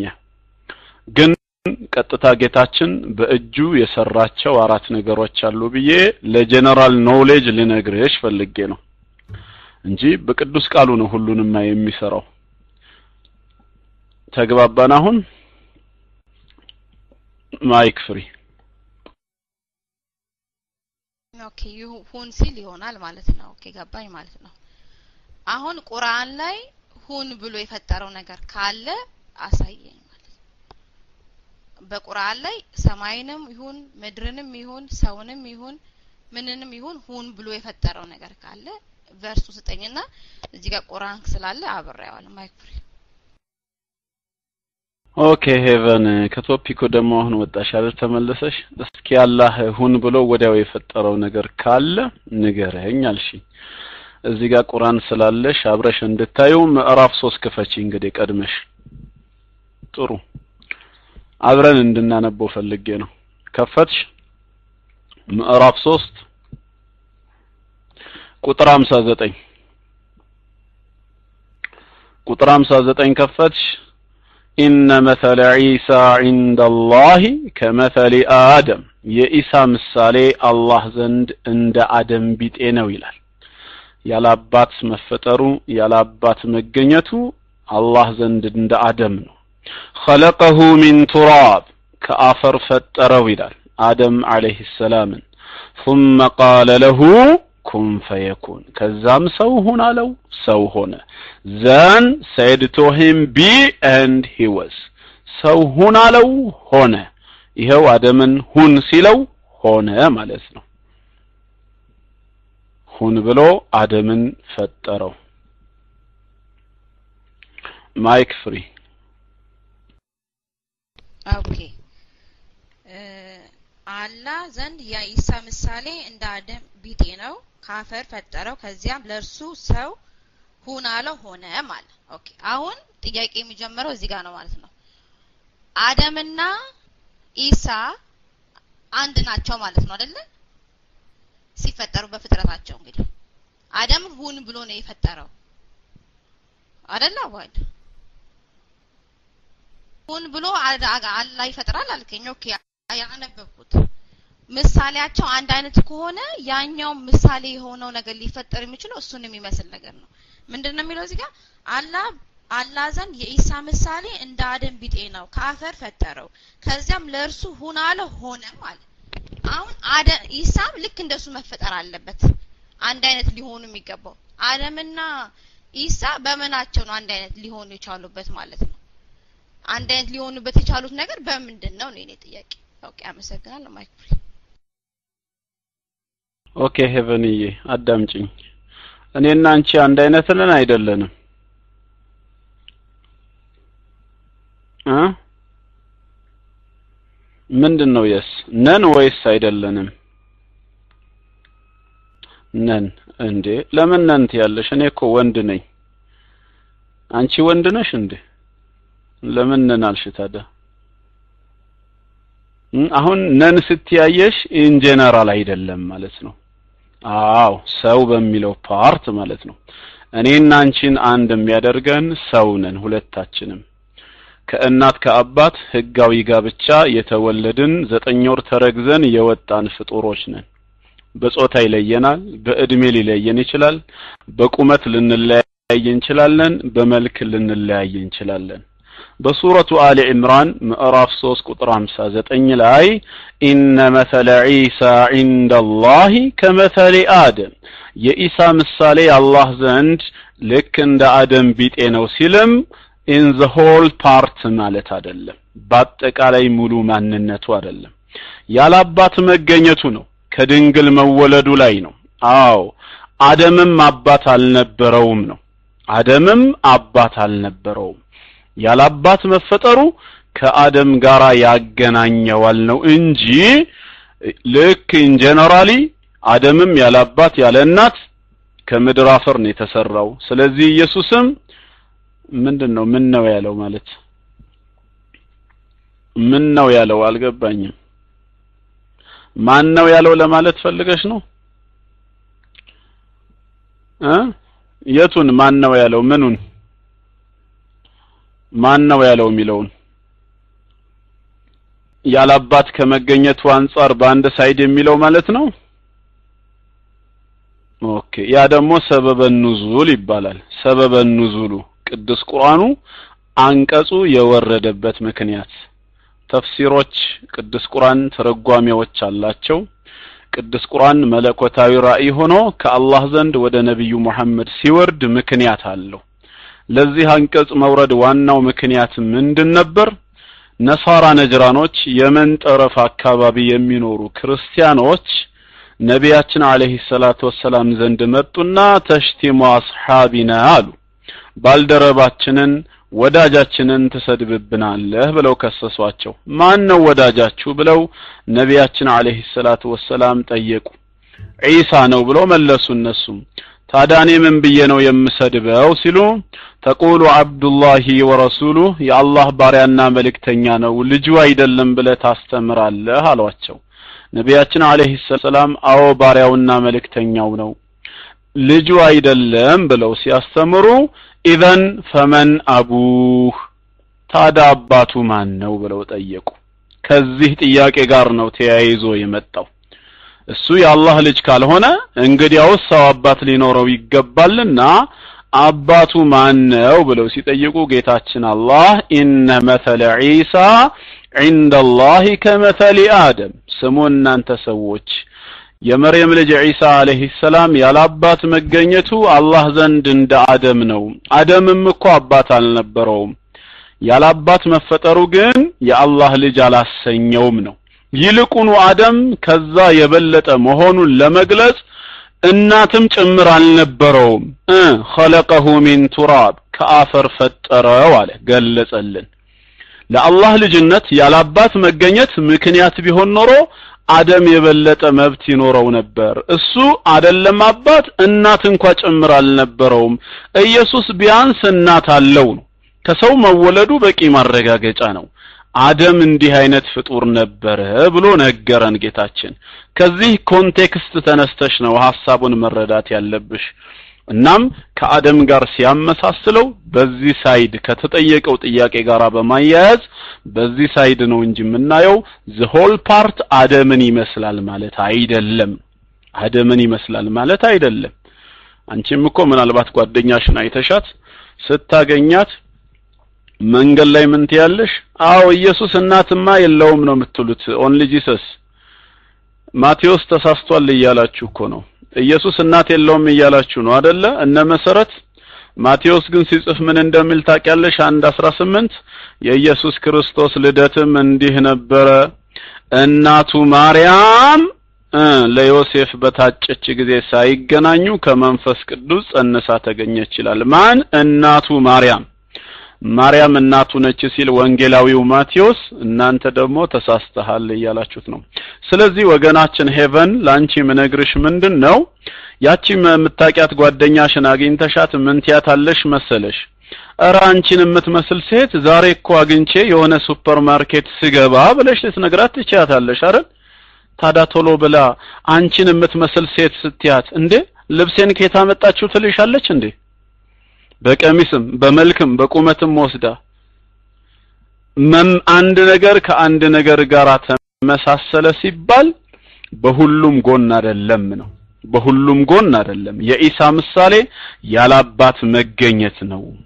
እና ኢየሱስ ታዲያ ሰው አይደለም ወይ ያልሽ ኧረ ድብን ያለ ሰው ነው። ከሰውም የማርያም ልጅ ነው እንዴት መጽሐፍ ቅዱስ እንኳን ሰው ነው እያለ አይደል የሚያስተምርሽ? መልአክ እንዳልሆነ መቼም አንቺም ታውቂያለሽ። እና ኢየሱስ ሰው ነው የማርያም ልጅ ነው አባት የለውም ልክ አደም እንደሌለው በዚህ angle ይመሳሰላሉ ነው። mic free። Okay አሁን ያስረዳኝን እስቲ ኡስታዝ አቡሃደር እግዚአብሔር ይስጥልኝ ከነብዩ መሐመድ ተብለዋል ያልክበት መጽሐፍ አለ? ማየት እንድንችል ማለት ነው። በተረት ተረት መልክ እንዳንሰማው። ማለት እስቲ ምን ላይ ነው ያለው? እንደዚህ ተብለዋል። አንድ ቀን እሳቸው እንደዚህ ብለው ሰደቡብን ሲሉ ከዛ በኋላ ያወራሁን በሙሉ ማለት ነው። ያወራህልን ነገር አለ ሰምቻለሁ ከዛ ሰዎቹ ለምን ትሰድብብናለህ ሲሉ የአላ ልጅ ነው ያልከው። ያወራኸው በሙሉ ኬት ነው ከመጽሐፍ አለው ወይ ደግሞ ኬት አምጥተህ ነው የምታወራው ማለት ነው? ካለ ስጠኝ ቁጥሩን የመጽሐፉን ስም ስጠኝና ልየው ማለት ነው። አመሰግናለሁ። ጥያቄን ልጠይቅ ነው። አው ልጠይቅ ወይስ ትሰጠኛለህ መጽሐፉ? ቁርአን ላይ አይደለም ብለኸኛል? ኦኬ እሺ ማይክ ኦኬ ሄቨን መጽሐፍ እሰጥሻለሁ ችግር የለም أسباب نزول ግን ታውቂያለሽ ምን እንደሆነ? أسباب نزول ማለት እንደው የምታውቂው ከሆነ ማለቴ ነው። ሳታደክሚኝ ምንድን ነው okay። ይኸውልሽ ቅዱስ ቁርአን የአምላካችን የአላህ ቃል ነው። ቅዱስ ቁርአን በመላኢካው ጅብሪል አማካኝነት አንቀጽ በአንቀጽ ምዕራፍ በምዕራፍ እየተከፋፈለ እንደ ወቅቱ ሁኔታ እንዳስፈላጊነቱ ወደ ነቢዩ መሐመድ አለይሂ ሰላቱ ወሰላም ይወርድ ነበር በወቅቱ ሲወርድ ምክንያቶች አሏቸው። ለምሳሌ ከሐዋርያት መካከል አንዱ ይሄን ጥያቄ ይጠይቃል። ይሄ ነገር እንዴት ነው? ብሎ ሲጠይቃቸው ከልብ ወለዳቸው ነብዩ መሐመድ አለይሂ ሰላቱ ወሰላም አይናገሩም። ቁርአን እንደመሰከረላቸው። ለዛ ለሐዋርያት ጥያቄ መለኮታዊ ራእይ በመላኢካው ጅብሪል በኩል ሆኖ ይመለሳል። ታዳ ሲጻፍ ቁርአን ብቻ አይጻፍም ነበር። ምንድን ነበር አብሮ የሚተላለፍ የነበረው? እቺ ቅዱስ ቁርአን የወረደችበት ምክንያት እከለ የተባረው ሐዋርያ ይሄን ጥያቄ በማንሳቱ ነው። ይሄ ቅዱስ ቁርአን የወረደው በዚህ ሰበብ ነው ይባላል። ስለዚህ ምክንያትን ቤዛ አድርገው የወረዱ የቅዱስ ቁርአን አንቀጾች የተሰበሰቡበት መጽሐፍ አስባበ ኑዙል የቅዱስ ቁርአን የመውረድ ምክንያቶች ተብለው የሚጠቀሱ አሉ ይሄንን ታዳ ማወቅ ከፈለግሽ ሁለት ምንጭ ልጥቀስልሽ። መቼም ታነቢዋለሽ ብዬ ተስፋ ባላረግም እንደው ማስረጃውን ለመስጠት አንደኛ አዎ መጽሐፍ ነው ሄቨን ሰው አይደለም። አብሽሪ ወገኔ መጽሐፍ ነው ምነግርሽ ሰው ሳይሆን። ኢማሙል ዋሂዲ ኢማሙል ዋሂዲ አነይሳቡሪ أسباب نزول በሚለው ኪታባቸው ተፍሲር ሱረቱ አሊ ኢምራን ቁጥር 59ን ተመልከቺው። ሁለተኛ ሁለተኛ ኢማም ኢብኑ ከሲር ረሂመሁላህ በተፍሲር ኪታባቸው ኢብኑ ከሲር ተፍሲር ሱረቱ አሊ ዕምራን ምዕራፍ 3 ቁጥር 59 ማብራሪያ ላይ ምዕራፍ 3 ቁጥር 59 ማብራሪያ ላይ የዚህን አንቀጽ ሰበበ ኑዙል ያወራሉ። ስለዚህ እኛ ጋር ተረት ተረት የለም። ኢስላም ብዙ ኬላዎችን ያለፈ እውነትን ከሐሰት አጣርቶ እስከ ዘመናችን ሳይበረዝ ሳይደለዝ original ቅርጹን የጠበቀ ብቸኛ መለኮታዊ ሃይማኖት ነው። እነከሌ እንዳስተላለፉልን የሚል ጽሁፍ የለም። ጥርጣሬ ውስጥ የሚከትሽ ማስረጃ የሌለው ዝም ብሎ እነከሌ እንዳስተላለፉልን እርግጡን እንድታውቅ ጻፍኩልህ የሚል ዘገባ ቢኖር ተረት ተረት ይሰኝ ነበር። ግን ሐዲስ እንኳን ሐዲሱን የዘገበው ወይም የጻፈው ሰው ከነቢያችን አለይሂ ሰላቱ ወሰላም ሲያስተላልፍ ሰነድ አለ። ዒልም አልኢስናድ ይባላል። የዘር ግንድ ይጠናል። ለምሳሌ በቡኻሪ ውስጥ ሐዲሶች አሉ። ቡኻሪ ማለት በሂጅራ አቆጣጠር በ196 በ197 ተወልዶ በ256 እና 57 የሞተ ሰው ነው። ታዲያ 196 ላይ ከነበረ ከዛ በፊት ወደ ሁለት መቶ ዓመት ወደ ኋላ መለስ ብሎ ከነቢያችን عليه الصلاة والسلام ሀዲስን ሲያወራ ሲያስተላልፍ ኬት አመጣው? علم الإسناد ይጠናል አንደኛ። فلان عن فلان فلان عن فلان። أخبرنا ሙሐመድ ሙሐመድን عن አሕመድ አሕመድን عن ሙሳ ሙሳ عن ከማል። እከሌ ከከሌ እከሌ ከከሌ እከሌ ከከሌ ተብሎ የዘር ግንዱ ተያይዞ ነቢያችን صلى الله عليه وسلم ድረስ ይደርሳል። ታዲያ እንደዛም ስለደረሰ እኮ ሰሂህ እኮ አይባልም። ሄቨን አንዱን ኬላ ብቻ አለፈ ነው የሚባለው። ሁለተኛ ኬላ ጥናት ይደረግበታል። ከዛስ? በዚህ የዘር ግንድ ውስጥ ያሉ ሰዎች ታሪካቸው ይጠናል። በአንድ ዘመን ነበሩ ወይ? እከሌ ከከሌ ሰምቷል ወይ? በአንድ አካባቢ ነበሩ ወይ? ይጠናል። ሲያልፍ ሁለተኛው ኬላ አለፈ ይባላል ወደ ሶስተኛው ይገባል ሶስተኛው ኬላ ላይ ደግሞ ሲገባ ምን ውስጥ ይመጣል የሰዎቹ ባህሪ አንደኛ ታማኝ ናቸው ወይስ አይደሉም በህይወት ዘመናቸው የሰሩት ስራ ይዋሻሉ አይዋሹም ለብቻው ታሪክ ይመሰከራል ይሄም ከተጠና ጥሩ ሆኖ ከታለፈ ጥሩ አራት ضبط ወደሚባል ህግ ይገባላ የሂፍዝ ችሎታቸው ይረሳሉ አይረሱም የመሐፈዝ የመያዝ ችሎታቸው የሐዲስ ሰሂህ ለማድረግ የሚጠናውን ጥናት ባይብልን ከዘፍጥረት እስከ ራእይ ብንመዝንበት አንድ ጥቅስ አናገኝም። ሰሂህ የሆነ ባይብል አንድ ጥቅስ ከዘፍጥረት እስከ ራእይ። ዝም ብሎ ሉቃስ እንደጻፈልሽ የከበርክ ቴዎፍሎስ ወይ ከመጀመሪያው በአይን ያዩትና የቃሉ አገልጋዮች የሆኑት እንዳስተላለፉልን። Who is ሉቃስ ሉቃስ ከማን ሰማ? የሰማባቸው ሰዎች እነማን ናቸው? መቼ ዘመን ሰማ? የት ሰማ? ይሄን ጥናት ዝም ብሎ ሳያልፍ የሚቀበል አይደለም። እና ተረት ተረት በእስልምና ይኖራል ብለሽ ሄቨን አታስቢ ነው። ለማንኛውም ወደ ርዕሱ ስንመጣ ያው ጉዳዩ የኢየሱስ ማንነት ነበረ ጠይቃለሁ እስቲ የነበረው። ስለ ኢየሱስ ጥያቄ ከሌለሽ አትፍሪ ስለ ልጠይቅሽ ስለ ኢየሱስ። እና ለማንኛውም ኢየሱስ ፍጡር ነው። ያላባት የተገኘ የማርያም ልጅ ነው። ቅድም የተባለው ምክንያቱ በነዛ መጽሐፍት ላይ ታገኘዋለሽ። Mic free። እሺ አመሰግናለሁ። መጽሐፍ ያለው አየዋለሁ ማለት ነው። ባታዩም አልክ ግን አየዋለሁ ችግር የለውም። ቀላል እኮ ነው ማየት።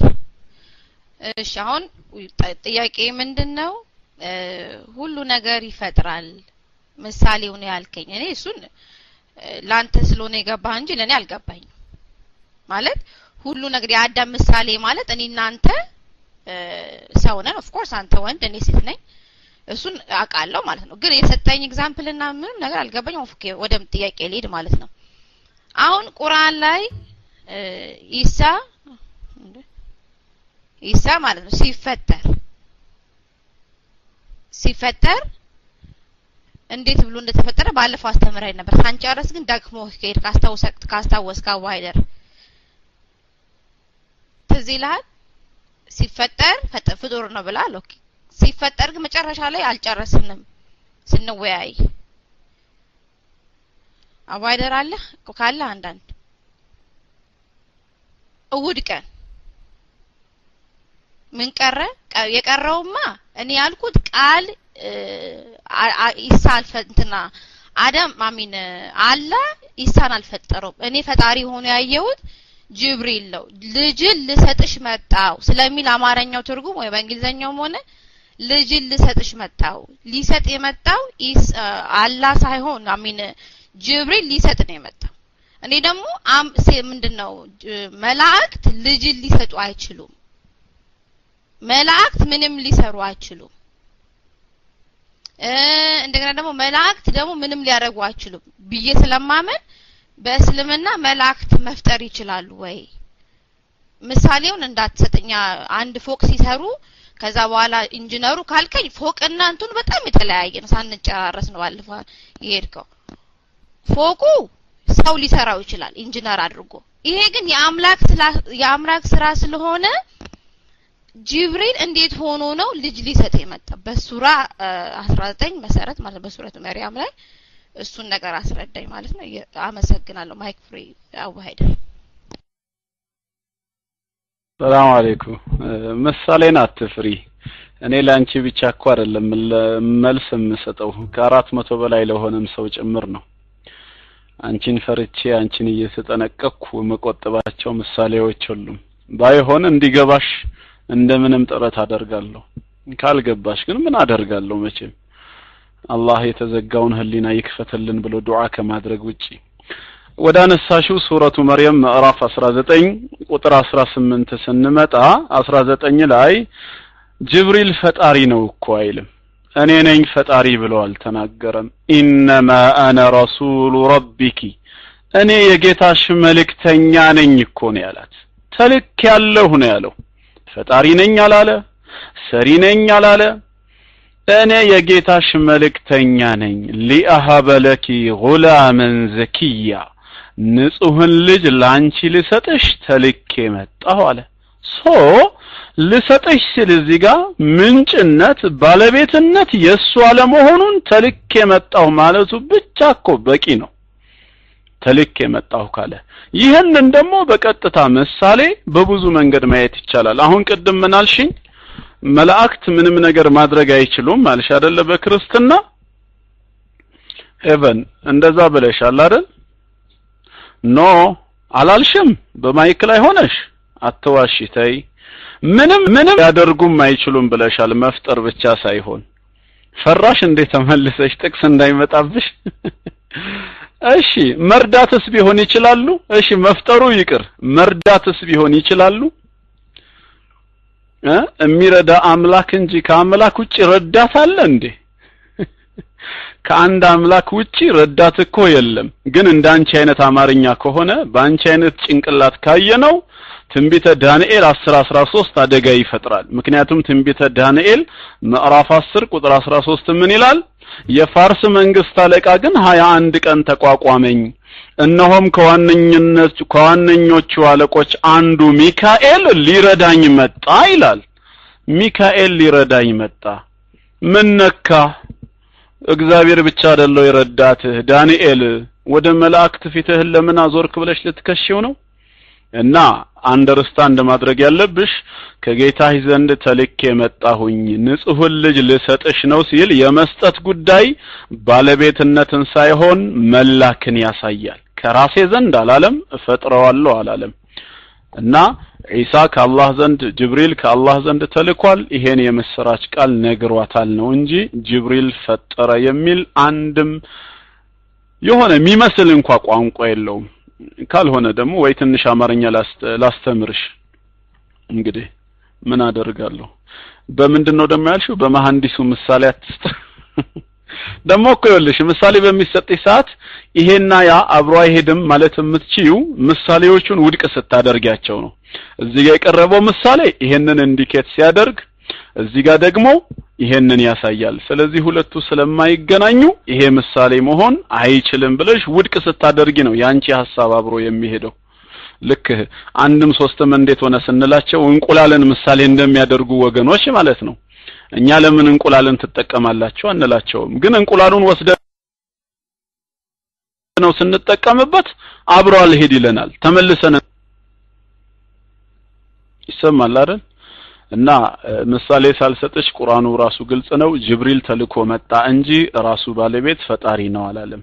የቱ ጋር ነው ጅብሪል ፈጠርኩ ያለው? mic free። እሺ እንዴት እንደሆነ አስረዳኝ እኮ አልኩኝ። አቡ ሀይደር at least ምን ሆኖ እንዳደረገ እኮ አስረዳኝ እኮ። ሁለተኛም ጥያቄ እኮ ግልጽ አድርጌልህ ነበር። አላህ ከሰማይ ሆኖ ነው መንፈሱን የላከው ምንም እኮ ግልጽ ነገር ስለሌለ እኔ ያየው ሱራ 19 ላይ እኔ ንጹህ ልጅ ላንቺ ልሰጥሽ የጌታ መልእክተኛ ነኝ። ከዛም በኋላ ሀያ አንደኛ ቁጥር ስድስት አላት። ነገሩ እንደዚህ ነው። ጌታሽ እርሱ በእኔ ላይ ገር ነው። ለሰዎችም ታምር ከኛም ችሮታ ልናደርግ ይህንን ሰራ። የተፈጠረውንም የተፈረደ ነገር ነው አለ። ነፋባትም ወዲያውኑ አረገዘች። አሁን ነፊው እኔ የሚታየኝ ጅብሪል ነው እኔ አንተ የምትለኝ እኮ ሌላ ሁለት አይነት ነገር ነው ያወራህልኝ ያለው። የነፋባት ጅብሪል ከሆነ ወዲያው ካረገዘች ማን ነው ያንትን ያለው ነው እኮ? አቡ ሀይደር ተልኮ እንዴት አምላክ መስራት አምላክ ቆይ ሻዋድ እሰጥሃለሁ። አንድ ደቂቃ ማይክ ማለት ነው። እንዴት መላእክት እንደማይችሉ ማለት ነው። መላእክት ቢላክም ማለት ነው አምላክ መስራት የሚችለው ነገር በፍጡር ሊሰራ አይችልም። መፍጠር ማለት ፍጥረት ነው። ሰውንም ሊፈጥሩ አይችሉ ሰማይንም ሊፈጥሩ አይችሉም ምድርንም ሊፈጥሩ አይችሉም ስለዚህ ተልከው ቢመጡ መልእክት ያስተላልፋሉ እንጂ ነፍተው ልጅ ያስወልዳሉ ወይ ደግሞ ያስረግዛሉ ብትሉኝ እኔ አይገባኝም ማለት ነው። እንዴት አይነት አስተምሮት እንደሆነ አልገባኝም። እስቲ ካንተ አፍ ልስማ አቡ ሀይደር። mic free ሰላም ዓለይኩም። ይሰማ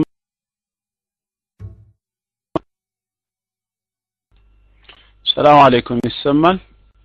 ይሰማል ያ ጀማ እባክሽ ሄቨን ህሊናሽን እባክሽ። አንድ ጊዜ ይመለሳል። ኡስታዝ አቡ ሀይደር ወጥቷል። አንድ ይመለሳል። ሌሎቻችን ፕሊዝ መሳደቡንም ምንም ጥሩ እየሄድን ያለ ነው በዛው እንቀጥል ኢንሻአላህ መስመራችንን አንጣስ ቀጥታ ንግግሩን እንግዲህ ከሱን አዎ ስድብ እናቁም። ስድብ እናቁም። እየጠየቀች ነው። አንድ ነገር አንደርስታንድ ማድረግ ያለብን እሷ ሙስሊም አይደለችም። ሙስሊም የገባውን ሁሉ ይግባት ብለንም አንጠብቅም። ልክ ለኛ መጽሐፍ ቅዱሱ ግራ እንደሚገባ ለእሷም ሁሉ ነገር አዲስ ነው። ስለዚህ እየተማረች ነው እንጂ የምታውቀውን ነገር አይደለም እየጠየቀች ያለችው። የማታውቀውን ነገር ነው። ማንም ቢሆን እንደዛ ነው ሰው ለሚናገሩት ነገር በስድብ መልስ አንስጣቸው እንሻላ። ለእኛ ቀለል ብሎ ስለገባን እንዲገባቸውም አንጠብቅም እንሻላ። እስኪ ለማን ነው እንትን ኡስታዝ አልገባም ኡስታዝ አልገባም። ሄቨንም ወጥታለች ሄቨንም ወጣች ወጥታለች። ሁለቱም የሉም። ሰው ኡስታዝ ሲመጣ እንግዲህ ለእሷ እንትን ላለን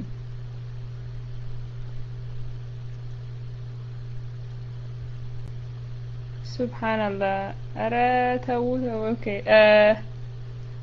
gentleness ኡስታዝን ለመጠየቅ ከሆነ ኡስታዝ ወጣ። okay ኡስታዝ ተመልሷል። ኡስታዝ ተመልሷል። እንግዲህ mic ኡን ለኡስታዝ እንለቃለን። ሄቨን ግን የለችም ኡስታዝ። mic free ኡስታዝ አቡ ሀይደር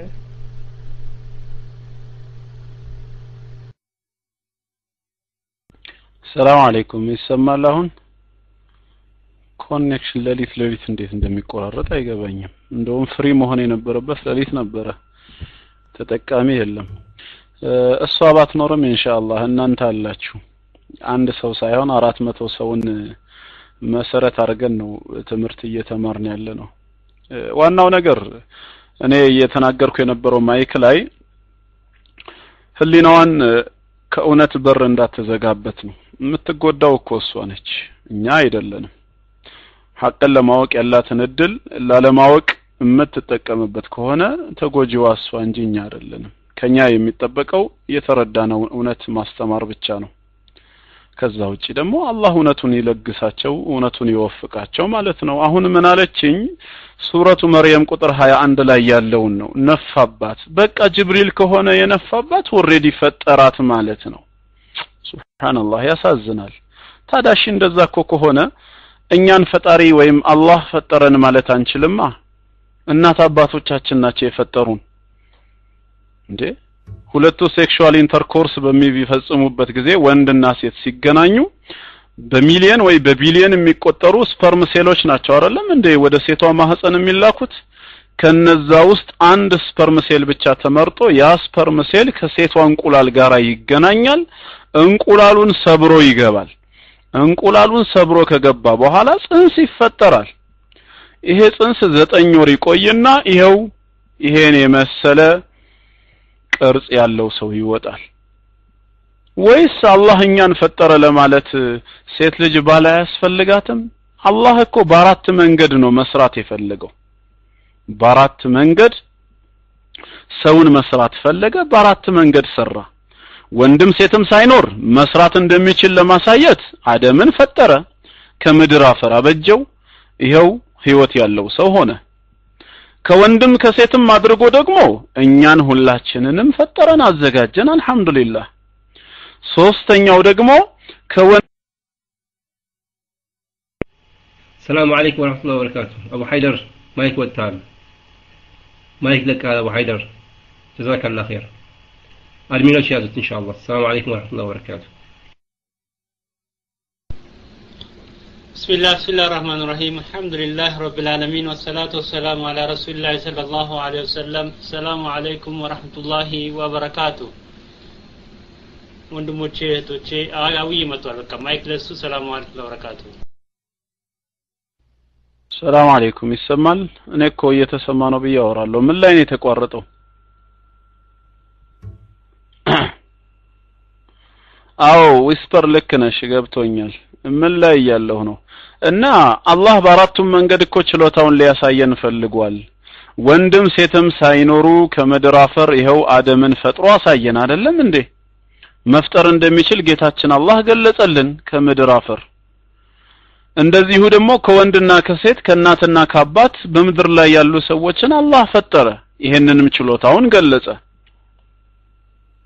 በተጨማሪ በሶስተኛ ደረጃ ደግሞ እናት እንኳ ሳትኖር ከወንድ ብቻ መፍጠር እንደሚችል ከሐዋ የጎን አጥንት ማንን ሰራ? ከአደም የጎን አጥንት እናታችን ሐዋን ሰራት። ያው ፈጠራት፣ አሳየን። የቀረው ደግሞ ወንድ ደግሞ ሳይኖር ከወንድ ብቻ በድንግልና መፍጠር እንደሚችል ሊያሳየን ከመርየም ዒሳን ፈጠረው ኢየሱስ። በአራቱም መንገድ ምን አደረገ? ችሎታው ተጠናቀቀ። ፍጥረቱን ለዓለም ገለጸ። ግልጽ ነው። ከዛ ውጪ አይ ኢየሱስን አላህ ፈጠረው የምንለው ጅብሪል ባይኖር ኖሮ ነበር። ምን ማለት ነው? ስለዚህ እሷም እኮ እግዚአብሔር ፈጠረኝ ማለት የለባትም። እናትና አባቷ ሳይኖሩ ቢፈጥራት ነበራ ተፈጠረች የምንለው እና አንዳንድ ጊዜ ለመዳረቅ ቢገቡም ለመዳረቅ እንደሚገቡ እናውቀዋለን። በዛ ሰበብ እኛ ትምህርት ካገኘንበት it doesn't matter እንማርበት፣ ማስረጃችንን በእነሱ ላይ እናቆምባቸው። እኛ እየተማርን ነገ عذر ሊኖራቸው አይችልም። ሰውን በማምለክ ጀነት አይገኝ መቼም። እውነቱን መናገር ከኛ ነው የሚጠበቀው። አላህ የእውነቱን ጎዳና ይምራቸው። እንግዲህ connection እንዴት እየተበላሸ እንደሚሄድ እኔ እንጃ። mic free። ሰላም አለይኩም ወራህመቱላሂ ወበረካቱ። ይሰማል? ኡስታዝ የኔ ጥያቄ ምንድነው ኢሳ አለይሂ ሰላም ሲመጡ ለክርስቲያኖች ወደ እስላም ዳዕዋ ይደረግላቸዋል ወይ? ጥያቄን ሰምተኝ ከሆነ ኡስታዝ አቡ ሀይደር የኔ ጥያቄ ይሄ ነው። ማይክፍሬው ሰላም አለይኩም ወራህመቱላሂ ወበረካቱ።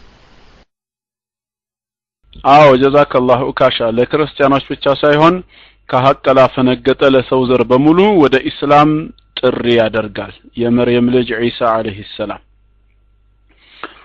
ኢስላምን እንዲቀበሉ አጠቃላይ በኢየሱስ ማንነት ወሰን ያለፉት ጌታና አምላክ የሚሉት ክርስቲያኖችም ይሆኑ ሐሰተኛ ብለው የሚጠረጥሩት አይሁዶችም ይሆኑ ማንም ሰው የኢስላም ጥሪ በነቢዩላህ ዒሳ አለይሂ ሰላም ላይ ስብከት ይደርሰዋል፣ ይሰበካል ነው። በምድር ላይ የአርባ ዓመት ቆይታው ይሄን ስራ ይሰራል። ويكسر الصليب መስቀልን ከምድረ ገጽ ያጠፋዋል፣ ይሰባብረዋል ነው የዛኔ ማለት ነው። ተረዳኸኝ? አቡ ሃይደር Gentleness ten። mister አቡ ሃይደር what does Islam teach about ego please I need help ego ምንድን ነው አላወቅም ምንድን ነው ego? ራስ ወዳድ ኩራት? ነው እንዴ? እንዴ? ግማሹ ልህ ይላል ግማሹ ኩራት ይላል ግማሹ ራስ ወዳድ ባለቤቱ ደግሞ mic ይላል እኔነት የምትሉም አሉ። እኔ አላየሁትም ነበር መጀመሪያ ጥያቄውን ራሱ። mic free።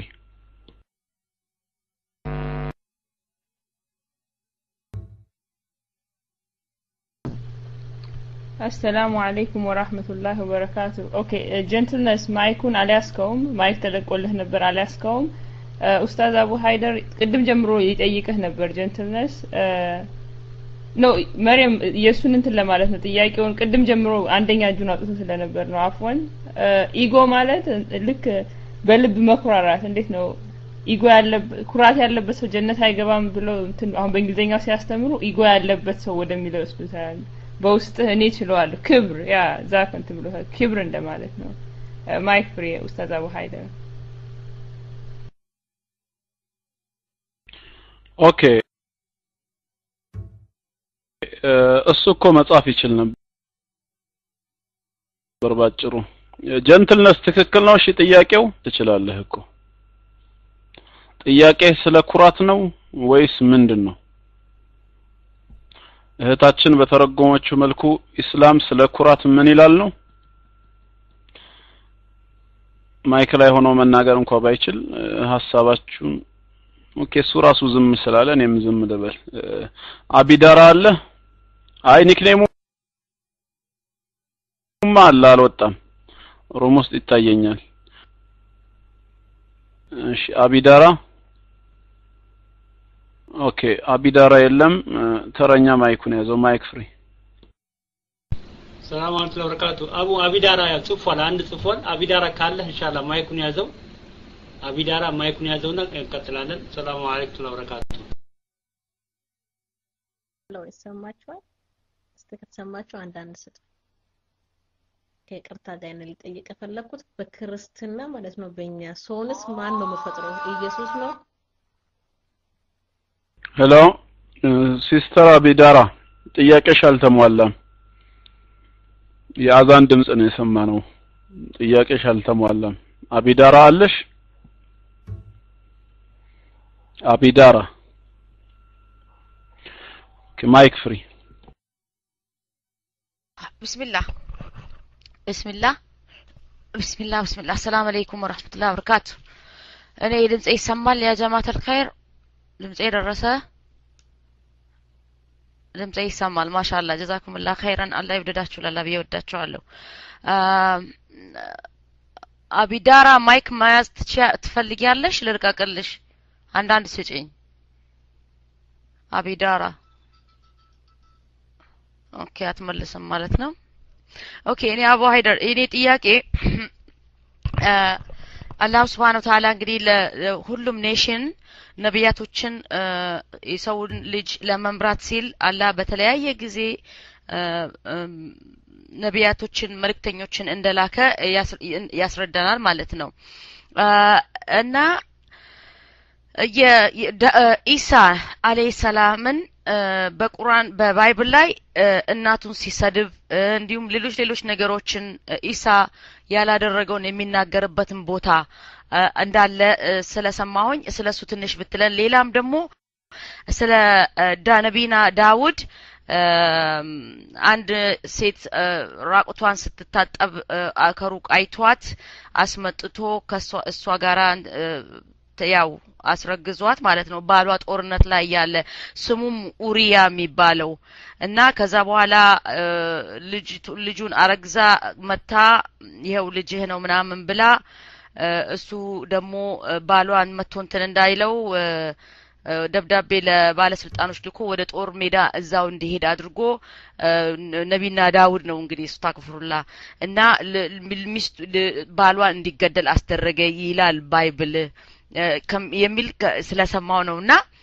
በቁርአን ደግሞ ነቢና ዳውድ በጣም ለየት ያለ ቦታ ያው እንዴት አድርጎ እ፣ በአጠቃላይ አራት ሶስቱ መጽሐፎች seventy five ለ Jewish ለ Jewish ኦችን አላህ መርጦ ለነቢና ዳውድ ለነቢና ሙሳ እ፣ ለነቢና ኢሳ እንደሰጣቸው ደግሞ ቁርአናችን እንዴት በክብር ደረጃ ነው እንግዲህ ጥሩዎችን ከጁሾች መካከል እንደነ ነቢዮቻችንን አይነቶችን አሞግሶ አልቆ ያው ጥሩ ስፍራ ስቶቻል ሌሎቹ ባይከተሉም ማለት ነው ጁሾችና እስራኤሎች።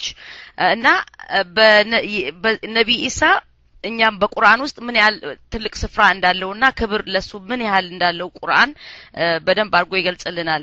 ግን በ Bible ውስጥ እናቱን ሲሳደብ እንዲሁም ሌሎች ሌሎች እንዳሉ ነው። አልጻፍኩትኝም። live lecture ነበረ። ግን እናቱን ሲሰድብ እንዳለ እንደዚሁም ነቢና ዳውድ ያልኩህን ነገር ሰው ሴት የሰው ሚስት አስረግዞ አስወለደ የሚለው የኡሪያን ታሪክ ካወቅከው ትንሽ እስቲ ብታስረዳንና ምን ያህል ከቁርአን ጋር ያለውን ልዩነት እንድታስ እግረ መንገድን ብጠቁመን ብዬ ነው። وجزاكم الله خيرا ከገባህ እንግዲህ አውዬ ባይ ክፍሬ። والسلام عليكم ورحمة الله وبركاته። وعليكم السلام ورحمة الله وبركاته جزاك الله መርየም። በደንብ ነው የገባኝ። ምን ነው የአንቺ አማርኛ እንደነ ሄቨን ይሆናል ብለሽ ነው እንዴ?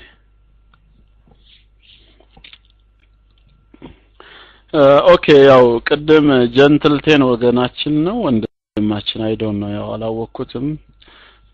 አልተሳካለትም መሰለኝ ተመልሶም ለመግባት። على كل حال ስለ ኩራት ብዙ የምናወራበት ነጥብ አይደለም። ለሁላችንም ግልጽ ነው ኩራት በኢስላም የተከለከለ ተግባር ነው። أول معصية عصي الله تعالى። አምላካችን አላህ የታመፀው የመጀመሪያ معصية የመጀመሪያ አመፅ ኩራት ነው። የኢብሊስ ኩራት። ለአደም የአክብሮትን ስግደት በታዘዘ ጊዜ አልሰግድም ያለው በኩራት አና ኸይሩ ሚንህ አናንያ። እኔነት በውስጡ ገባበት። ከአደም የተሻልኩ ፍጡር ነኝ አለ የጌታውን ትእዛዝ ቸል በማለት ከኔ ለሚያንስ ፍጡር እንዴት የአክብሮትን ስግደት እሰግዳለሁ? በማለት እምቢተኝነትን አሳየ። ይኸው ፍጻሜው የት ሆነ? ከጌታችን ጋር መጣላት ከራህመቱ መባረር ሆነ። ነገም ቁጣው ዘላለም እሳት ጀሃነም እሳት ሆነ። አላህ ከእሳት ይጠብቀን። ቅድም እህታችን ሐን ሙስሊም እንዳለችው ሚስቃሉ ዘራ የብናኝ ክብደት ያክል ኪብር በቀልቡ ላይ ያለበት ሰው ጀነትን አይገባም ብለዋል ነቢያችን አለይሂ ሰላቱ ወሰላም። አምላካችን አላህም በቅዱስ ቃሉ በሱረቱል ኢስራእም ላይ ነግሮናል። ወደ ቁጥር 37 ወላ ተምሺ ፊል አርዲ መራሐን ነው የሚለው። መሬት ላይ እንኳ ስትሄድ እየተንጠባረርክ አትሂድ ይላል። አትንጠር ነው አይደል የምትሉት? እየነጠርክ አትሂድ አትንጠባረር። ደካማነቴን ማንነቴን ሲነግረኝ ለዛው ምክንያቱን ጌታችን ምን ይላል ኢነከ ለን ተኽሪቀ አልአርድ ምንም ብትንጠባረር መሬትን አትሰረጉዳትም አለ። መሬትን እንኳ በእግርህ መሰርጎድ አትችልም። የአንተን የሰውነትህን የእግርህን ምልክት መሬት ላይ እንኳ ማሳረፍ የማትችል ፍጡር ነህ።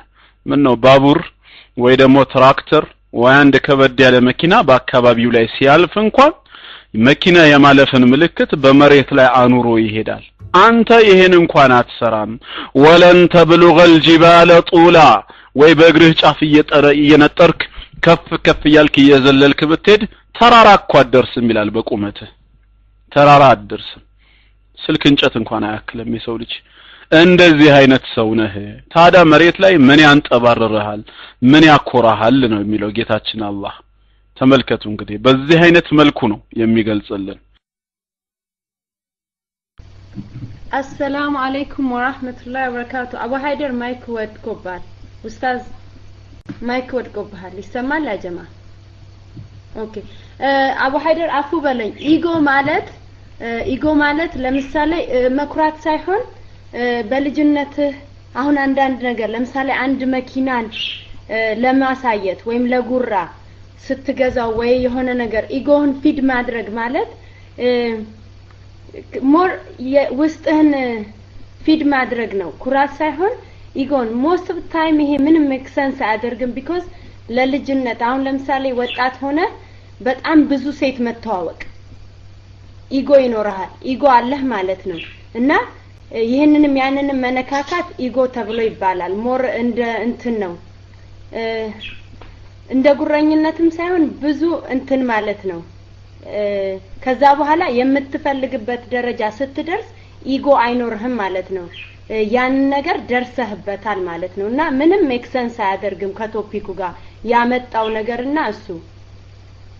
ለዛ ነው። አፉ በለኝ mic free ላድርግልህ። ለመደበር ያህል ነው። ዝም ብሎ ነው ያመጣው። سلام عليكم። ጀዛኪላ ሳራ አብዱ። ግን የአንቺን ሀሳብም እኮ ማወቅ አልቻልኩም ታዲያ ኢጎ ምንድን ነው ብዬ እኮ ጠይቄያለሁ። ለምሳሌ ሰውየው በወጣትነት ዘመኑ ከብዙ ሴት መተዋወቅ። እህ ምን? መተዋወቅ። ሀሳቡ አልተሟላም። ኢጎ የሚለውን አጠር ባለ ቋንቋ ይሄ ነው ብለሽ አላብራራሽውም። ይውልኝ ነው? እኔነት ነው? ምንድን ነው የሆነ የገለጽሽው ነገር ራሱ የለም። አጠር ባለ መልኩ። ራስ ወዳድ ራስን መውደድ ለማንኛውም ራስን መውደድ ታረ ምንድን ነው? ራስንም እኮ መውደድ ቢሆን ምንም ማለት አይደለም። ራሳችን ጥሉ የሚል ሃይማኖት የለም በኢስላም ውስጥ። ሰው ራሱን እንዲወድ ራሱን እንዲንከባከብ ተገልጿል። ስለዚህ ለማንኛውም ምንም ግልጽ አይደለም ለኔ። ወደ ቀጣዩ ነጥብ ልምጣና እህታችን መርየም ያነሳሽው ነገር ትልቁ እኮ ኢስላም ከክርስትና አንዱ የሚለየው ይሄ ነው። የጥንት እውነተኛ ታሪኮችን original ቅርጻቸውን ጠብቆ የነቢያት ባህሪና ስነ ምግባር ተጠብቆ አግባብ በሆነ መንገድ ለኡማው ተልኳቸውን ያደረሰ ኢስላም ብቻ ነው። አንቺ እንዳልሽው ቅድም ነቢዩላህ ዳውድ عليه السلام ጌታችን አላህ واذكر عبدنا داود ذا الأيد نعم العبد إنه أواب ብሎ የገለጸው ባሪያችን ዳውድንም ማውሳው የኃይልና የጉልበት ባለቤት የነበረው ምንኛ ያማረ ባሪያ ብሎ እኮ ነው አላህ የሚገልጸው። نعم العبد ምንኛ ያማረ መልካም ባሪያ ብሎ ነው የሚገልጸው። إنه أواب ወደ አላህ ተመላሽ የሆነ ይለዋል። መርየም አለሽ? ታዲያ እንደዚህ አይነቱን ነብይ በእነሱ መጽሐፍ ገላዋን ስትታጠብ አንድ ሴት አይቶ ከእሷ ጋር አስገድዶ ግብረ ስጋ ግንኙነት እንዴ? አንድ ሴት እኮ ብቻ አይደለም። መጽሐፍ ቅዱስ ላይ ይሄ ብቻ ነው እንዴ? የሳኦል አማች ለመሆን ፈልጎ ሚልኮልን ስላፈቀራት ሚልኮልን ሊያገባት ስለተመኘ ምንድን ያደረገው? መጽሐፋቸው እንደሚያወራው። እ? የዛን ጊዜ ሳኦል ይሄን አጋጣሚ ሲያውቅ አይደለም እንዴ? ፍልስጤማውያኖች እንዲገድሉት ፈልጎ በፍልስጤማውያን እጅ አሳልፎ ሊሰጠው ፈልጎ ምን አደረጋለው ይላል? no no ንጉሱ ከመቶ ፍልስጤማውያኖች ሸለፈት በቀር ማጫን እንደማይቀበል ለዳዊት ንገሩት አላቸው። አንተ ልጄን አግብተህ የኔ አማች መሆን ከፈለክ መቶ ፍልስጤማዊ ገድለህ ብልታቸውን ቆርጠህ በቁጥራቸው ልክ ሰለባቸውን ብልታቸውን ካስረከብከኝ ልጄን ሚልኮልን እድርሃለሁ ነው።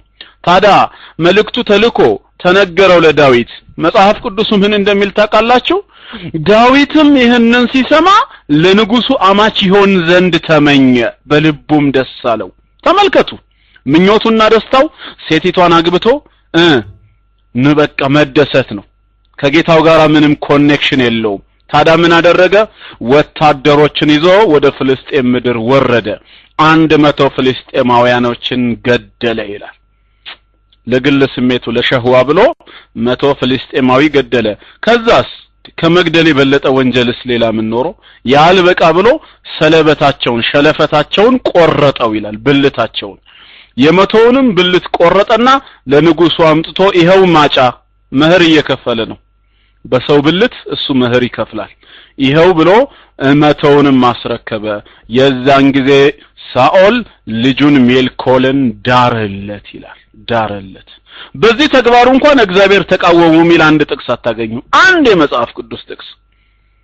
ተመልከቱ አይሁዶች እስራኤሎች እንዴት አድርጎ በኪታቡ ላይ እጃቸውን እንደሚከቱበት። ይሄን በመስራቱ እግዚአብሔር ተቃወመው የሚል የለም። ዛሬ ግን የአላህን ህግ በመጠበቅ ሐራሙ ስላለመውደቅ ሰውየው ሁለት ሚስት ሲያገባ ዝሙት ነው ይላሉ አይደለም? ያፈቀራትን ሴት ለማግኘት ግን መቶ ሰው ገድሎ ብልትን ቆርጦ ማስረከብ ግን አምላክ አልተቃወመም በዝምታ አለፈው ይላሉ። እንዲህ አይነት ትምህርት ነው የሚያስተምራቸው። ይሄ ብቻ እኮ አይደለም ደግሞ ዳውድማ ከተባለ መጨረሻ ራሱ ሲያረጅ የዳዊት ባሪያዎች ምን እንዳሰቡለት አታውቁም Bible ላይ? እያረጀ ሲመጣ ብብቱ ስር ገብታ የምታሞቀው ወጣት ሴት እንፈልግለት ብለው ሴት አመጡለት አይደል እንደሚለው Bible? በቃ ይሄ ነው። ከአላህ ቃል ጋር ምንም ግንኙነት የለውም። እሺ ዘቡር ምን ያደርግበት ነበር? ዘቡር ምን ሊያደርግለት ተሰጠው? እነሱም እኮ መዝሙር ይሉታል። በአላህ ቃል ህይወቱን ካላነጸ በአላህ ቃል ህይወቱን ካላስተካከለ በስተርጅናው እንኳን ብብቱ ስር እየገባች የምታሞቀው ሴት። ምንድን ነው እንደዚህ አይነት የምታሞቀው ሴት እና እንደዚህ አይነት ትምህርት ያስተምራል። ግን አልহামዱሊላህ ኢነ ረበከ ለቢል ሚርሳድ ይላል። ያንተ ጌታ በመጠባበቅ ላይ ነው ብሎ በቁርአን ስለሚነጋገር ይሄው ያለውን reality ያስቀምጥልናል። ግን አለማፈራቸው ክርስቲያኖች ሲጠየቁ የሚመልሱት መልስ ትሰማላችሁ? ምን እንደሚሉ ይህን ስታነሱ እንደውም እኮ መጽሐፍ ቅዱስ እውነተኛ መሆኑን ከሚገልጹት ማስረጃዎች መካከል አንዱ ይሄ ነው ይሉናል። እንዴት ስንላቸው ያለውን ታሪክ እንኳን ሳይሸራርፈው ሳይደብቀው እውነቱን ማውራት ችለዋል። አለበዛ ይተቹኛል ብሎ ይዋሽ ነበረ። ነቢያቶች አልሰሩም ብሎ ይደብቀው ነበር። ሰሩ ብሎ እውነቱን ራሱ መጠብቆ ማቆየቱ እውነት ለመሆኑ አንዱ ማስረጃ ነው ይሏቸዋል ዛሬ። አንዳንድ ጊዜ ደግሞ ትንሽ ወጣ ያሉ ክርስቲያኖች ምን ይላሉ? እንደው ምናልባት መሸሻ ከተገኘ አሁን የተሰራውን ስራ ሁሉ ያምናሉ አግባቡ መጥፎ መሆኑን ይቀበሉና ዳዊት ግን ንጉስ እንጂ ነብይ አይደለም። በቃ ነብይነቱን ክደው ቁጭ። እሱ ንጉስ እንጂ መጽሐፍ ቅዱስ በግልጽ እኮ ነብይ ነው ነው የሚለው። በግልጽ ቋንቋ ነብይ ነው እያለው እሱ ንጉስ እንጂ ነብይ አይደለም። ይሄ ነው ምላሻቸው። አልহামዱሊላህ ኢስላም ግን አስተምሮናል። የነቢያት ሁሉ እውቅና ያገኘው በኢስላም ነው። ነብይነታቸው የጸደቀው በዚህ ነው አለበዛ ኑህንም እኮ አየነው። ኢነሁ ካነ አብደን ሸኩራ ጌታውን አመስጋኝ ባሪያ ተብሎ የተመሰከረለት በመጽሐፍ ቅዱስ ግን ወይን ጠጅ ተከለ ጠጣ ሰከረ ድንኳን ውስጥ ራቁቱን ተንከባለለ ተኛ። ከዛም ታናሹ ልጁ ማለት ነው የአባቱን ራቁትነት ሲያይ ወጥቶ ለታላቅ ወንድሞቹ ነገራቸው ይላል። ታላቅ ወንድሞቹ መጡ ሁሉም ተባበሩና አባታቸውን ራቁትነት በልብስ ሸፈኑ። ከዛ በኋላስ ኖህ ከስካሩ ሲነቃ ታናሹ ልጁ ያደረገበትን አወቀ። ምን ማለት ጀመረ? የሚገርመው ደግሞ ከነአን እርጉም ይሁን አለ። ከነአን እርጉም ይሁን። ማን ነው ከነአን ብለን ስንጠይቃቸው የታናሹ ልጁ የካም ልጅ ነው። አንዴ ምንም ያልነበረ በቦታው ያላወቀ ጭራሽ የዛ የታናሹ ልጅ ልጅ የልጅ ልጅ ተረገመ ይላል። ዘሮቹ ሁሉ ባሪያ ይሁኑ ተባለ። ማናቸው ዘሮቹ ተብሎ ሲጠና? ኩሾች አሉበታ። ይኸው ዛሬ ኩሾች እነማን ናቸው? በሀገራችን ብሔር ስንሄድ ተመልከቱ መጽሐፍ ቅዱስ አካሄዱን እንዴት እየተካሄደ እንደሆነ። እንዲህ ነው የሚያስተምረው። ከየት የመጣ አስተምሮ ነው?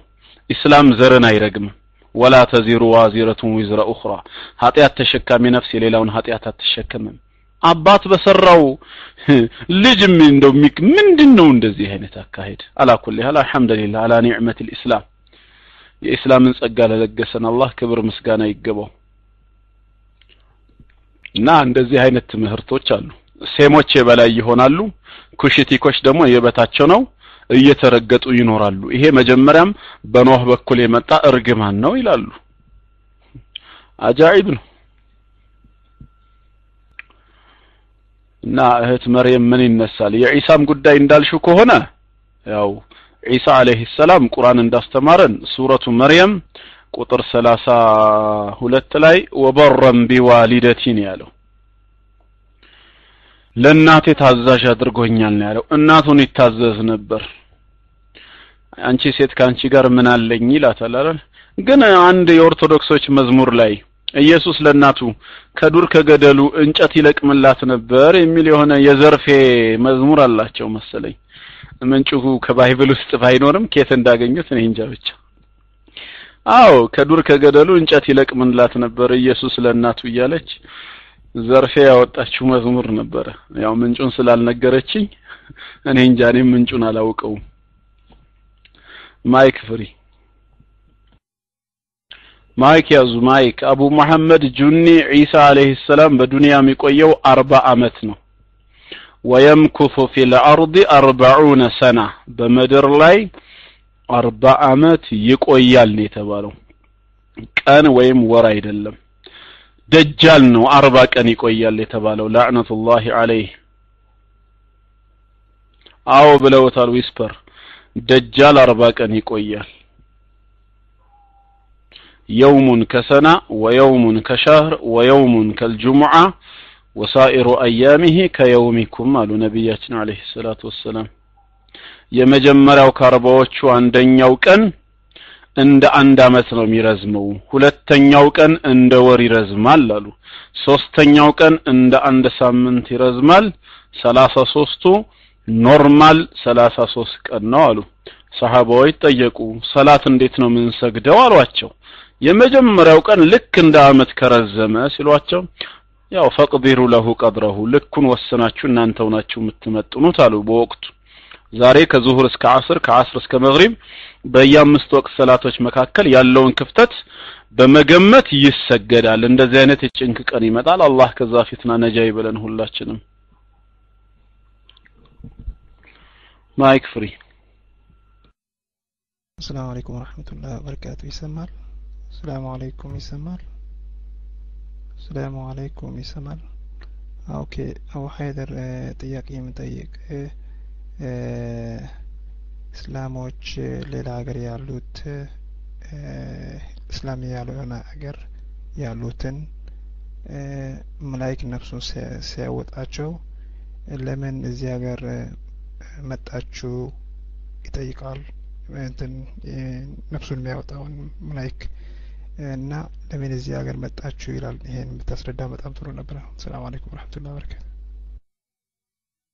ሰላም አለይኩም። ወንድሜ ከየት ነው ይሄን ያገኘኸው? ምንጭ አለው እንዴ? ብዙዎቻችሁ አልሰማችሁትም። ለምሳሌ እኔ ኢትዮጵያዊ ነኝ። ታዳ ወደ ካናዳ ሄጄ አጀሌ ደርሶ በካናዳ ብሞትና እዛው ብቀበር ሩህ የሚያወጡ መላኢካዎች ለምን ካናዳ መጣህ ብለው ይጠይቁሃል? አገርህን ለቀህ። እንደዛ ነው አይደል አብዶቲን ሀጂ ነው? እንዴ እንዴት ነው? ኬ ማለት ምንጭ አለው? እንዴ እስኪ አንዴ ድጋሚ ማይክ ላይ ሆንና ብዙዎቹ ደግሞ ስላልሰሙ volume ጨምርበት። volume በደንብ ጨምርበትና እግረ መንገድ እስኪ ንገረን። mic free። አሰላሙ አለይኩም ወረህመቱላሂ ወበረካቱ። አይ እስላም ያልሆነ ሀገር ወደ ኤሮፓ ወደ አሜሪካ እዛ ያሉትን እስላም ከሆነ እዚህ ሀገር ለምን መጣችሁ? መላይኮች ነፍስ የሚያስወጡት ለምን እዚህ ሀገር መጣችሁ ብሎ ይጠይቋቸዋል። ይሄን ሰምቼ ነበረ ገባ አባባሌ በሶማለኛ ነው የሰማሁት።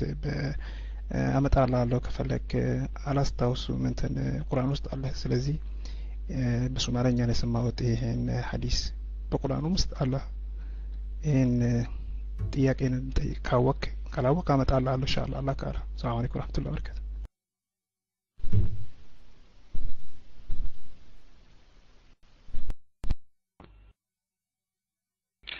ወአለይኩም ሰላም ወራህመቱላሂ ወበረካቱ። okay አሁን የወንድማችን ጥያቄ ምንድን ነው የሙስሊሞች ሀገር ያልሆነ ማለት ነው። የካፊር ሀገር ሄደው እዛ ከሞቱ ነው የሚጠይቋቸው። ለምን እዚህ ሀገር መጣችሁ? ይሰማችኋል ግን እንዳልከው ምንጭ ያስፈልገዋል። ምናልባት የቅዱስ ቁርአኑን አንቀጽ ፈልገው ከሆነ ቅዱስ ቁርአኑ እነሱ ካሉት ጋር በፍጹም አይገናኝም። አለዚነ ተተወፋሁም ልመላኢካ እነዛ መላእክት የሚገሏቸው ዛሊሚ አንፉሲህም ነፍሶቻቸውን በድለው የነበሩ ሰዎች ቃሉ ፊመ ኩንቱም የት ነበራችሁ ብለው ይጠይቋቸዋል። በምድራዊ ህይወታቸው ስላሳለፉት ስራ ኩና ሙስተድዓፊነ ፊል አርድ በምድር ላይ ደካሞች ነበርን እንደነሱ መታገል አልቻልንም ሲሏቸው አለም ተኩን አርዱላሂ ዋሲዐቱን ፈቱሃጅሩ ፊሃ የአላህ መሬት ሰፊ አይደለችም እንዴ? ታዲያ በእሷ ተሰዳችሁ የአላህን ቃል የበላይ ለማድረግ አትታገሉም ወይ ይላል። ታዲያ ይሄ ምን አገናኘው ከነዚህ ጋራ? ከዚህ ርዕስ ጋራ ምንም አይገናኝም። አውሮፓ የሙስሊም ሀገር አይደለም ያለው ማን ነው? የሙስሊም ያልሆነ ሀገር የለም ስርዓቱ የኩፍር ሊሆን ይችላል። ስርዓቱ የኩፍር በሆነበት ሀገር ውስጥ የሚኖር ሙስሊም ሃይማኖታዊ ተግባሩን መፈጸም ካልቻለ ወደ ሙስሊም ሀገር እንዲሰደድ ሸሪዓ ያስገድደዋል ማለት ነው። ነገር ግን ሃይማኖታዊ ተግባሩን መፈጸም የሚችል ከሆነ የትም ስፍራ ላይ ሆኖ የአላህን ህግ ማክበር ይችላል። እና አየቱ በምን መልክ ነው እንደዚህ የሚፈሰረው? እና እንዴት አድርገው እንደተረዱት አይዶን እስቲ ወይ የሶማሌኛውን ሀሳብ በደንብ ካገኘኸው እስኪ በደንብ አብራራው ማይክ ፍሪ አሰላሙ አለይኩም ወረህመቱላሂ ወበረካቱ ይሰማል ይሰማል የሚሰማ ከሆነ አንዳንድ አላህ ይፈልግ السلام عليكم ورحمة الله وبركاته uh, بارك الله فيك uh, أبو حيدر may Allah سبحانه وتعالى يعني ከነዛ ጀና የሚገቡ ሰዎች እንዲያደርጉ ዱዓ አረግልሃለሁ ለሁላችንም ኢንሻ አላህ ይህ የምታደርገው ወላሂ አልዓዚም ቀላል ስራ አይደለም። በዚህ ሰዓት በዚህ የምተኛበት ሰዓት እንደዚህ ያደርገ የምትሰጠን ዕልም አላህ ዋጋህን ይክፈል ኢንሻ አላህ እኔ ሁለት ጥያቄ አለኝ። እኔ ጥያቄ ከመጠየቄ በፊት ስለ ወንድማችን የሚናገረው የነበረ ነገር ትንሽ ላብራራ ወይም ደግሞ እንደገባኝ ከሆነ ለምሳሌ አሁን በካናዳ ትልቁ is ዓለም የሚባል ሼክ እዚህ which is ሼክ በሺር ይባላል ሶማላዊው ያኔ ኢዕላን ያደረገው እዚህ አገር ለትምህርት ወይም ለህክምና ወይም ለዳዕዋ ካልሆነ ለሌላ አይነት ለመኖር እዚህ ሀገር በእስልምና ህግ አይፈቀድም ብሎ ፈትዋ ሰጥተዋል እና ምናልባት በዛ የተነሳ እንዳይሆን። ኤኒዌይ የኔ ጥያቄ ምንድን ነው ይሰማል የጀማ ይሰማል? ጥያቄ ምንድን ነው እኔ የዶክተር የኔ ዶክተር እዚህ ከቄሶች ከቄሶቹ አንድ ነው። ዶክተር ፊዚሽን ነው። እና ሁል ጊዜ ከሱ በዚያራ በማድረግበት ጊዜ ስለ እስልምናና ስለ በጣም የእስልምናን ጥላቻ ስላለበት ብዙ ነው የምንከራከረው እና ትላንትና ራሱ ስለ ጺም ማሳደግ እና በጣም ሲከራከረኝ ነበር። ለምንድን ነው አንተ እንደዚህ ጺምህን የምታሳድግ ምናምን አለኝ እና እኔ ትንሽ maybe አመላለሴ ስህተት ሊሆን ይችላል፣ الله أعلم። ልክ እንዲገባው ግን እኔ ወላሂ የ Jesus Christ ተከታይ ስለሆንኩኝ Jesus የሚያደርገው የነበረና ከሱ በፊት የነበሩ መልእክቶች የሚያደርጉት የነበሩ እና ከዛ በኋላም ረሱል አለ ሰላት ወሰላም ያደረገውን ለመከተል ነው እኔ እንደዚህ ያደረግኩት እና ብዬ መለስኩለት። እና ስለዚህ አስተሳሰብ ምን አለ? አንደኛ። ሁለተኛ መጽሐፍ ቅዱስ ይሄ የሰማሁት ነገር ነው መጽሐፍ ቅዱስ ከይሁዳውያን ዘር ያልሆነ እንዴት አድርጎ ነው እንዴት አድርጎ ነው የሚያዩት? እኔ ስለሰማሁኝ which is maybe ስህተት ሊሆን ስለሚችል እንደዚህ ነው ለማለት አልቻልኩም አልፈልግም። ግን አንተ ብታብራራው ከይሁዳዊ የማይወለድ ወይም ደግሞ ከይሁዳዊ ዘር ያልሆነ ሰው እንዴት ነው የሚያዩት? ምን አይነት ሰው ነው? የሚሉት። እና ባረከላሁ ፊክ። ጀዛከላሁ ኸይር። ሰላም አለይኩም ወራህመቱላሂ ወበረካቱ። ጺምን በተመለከተ ጥሩ ነው የመለስክለት። ይሄ ፊጥራ ነው። የነቢያቶች ሱና ነው ነቢያቶች ጺማቸውን ያሳድጉ እንደነበር በቁርአኑም ውስጥ ተገልጿል። ለምሳሌ ሙሳ አለይሂ ሰላም የታላቅ ወንድሙን የሃሩንን ጺሙን ይዞት ነው ሲጎትተው ቃለ የብነ ኡመ ላ ተእኹዝ ቢልሕየቲ ወላ ቢራእሲ ያለው። ራሴንም ሆነ ጺሜን የእናቴ ሆይ እባክህ አትያዘኝ አትጎትተኝ ይለዋል። አይሰማም እንዴ? ነቢያት የሱና ተግባርን ይፈጽሙ ነበር አንተ ደግሞ ይበልጥ የምትሰራው ነቢያችን አለህ ሰላት ወሰላም ካሊፉል ሙሽሪኪን ሙሽሪኮችን ጣዖታውያኖችን ተቃወሟቸው። ፊሩ ሊሕያ ጺማችሁን ልቀቁት። አሕፉ ሸዋሪብ ሸዋሪብ ወይም ቀድሞ ቀመሳችሁን ደግሞ ቀንሱት ብለዋል። ከአፍንጫ ስር የሚያድገው ማለት ነው። ምግብ በሚላክበት ሰዓት መጀመሪያው እሱ አይደል የሚነካው? ቀድሞ ቀመስ ይሉታል። እሱን ደግሞ ቀንሱት ጺማችሁን ልቀቁት ብለዋል። ስለዚህ የነቢያችን አለህ ሰላት ወሰላም ሱና ነው። ሱናን በመተግበራችን ከአላህ ዘንድ አጀር እናገኛለን። ያን መሰረት አድርገን ነው የምንተገብረው ነው። ግልጽ ነው ወንድሜ? ኸይር ኢንሻአላህ። ከዛ ውጪ ከይሁዳዊ ውጭ ያለውን ሰው እንዴት ይመለከቱታል የሚለው ያው ለነሱ ለራሳቸው የሚመጣው ጥያቄ ነው። mic free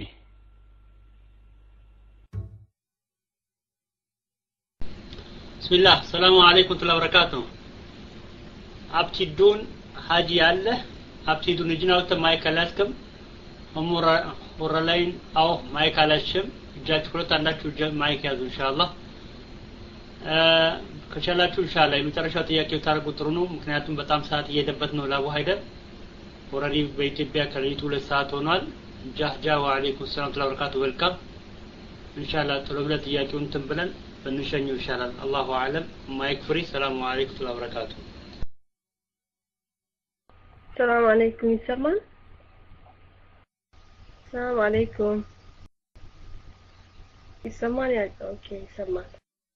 እኔ እንኳን ጥያቄ ብዙ ክርስቲያን ጓደኞች አሉኝ። ሁልጊዜ ይጠይቁኛል ለምንድን ነው ኢስ ነቢላህ ኢሳ እያለ ነቢላ መሐመድ ተመረጠ ብሎ?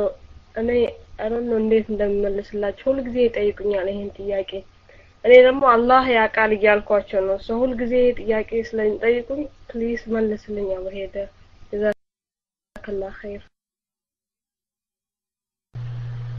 السلام عليكم። እሙ ሁረላይን ኡስታዝ ጥያቄዎሽን አልሰማሁሽም እያለች ነው። mic ኩን ድጋሚ ያዡ።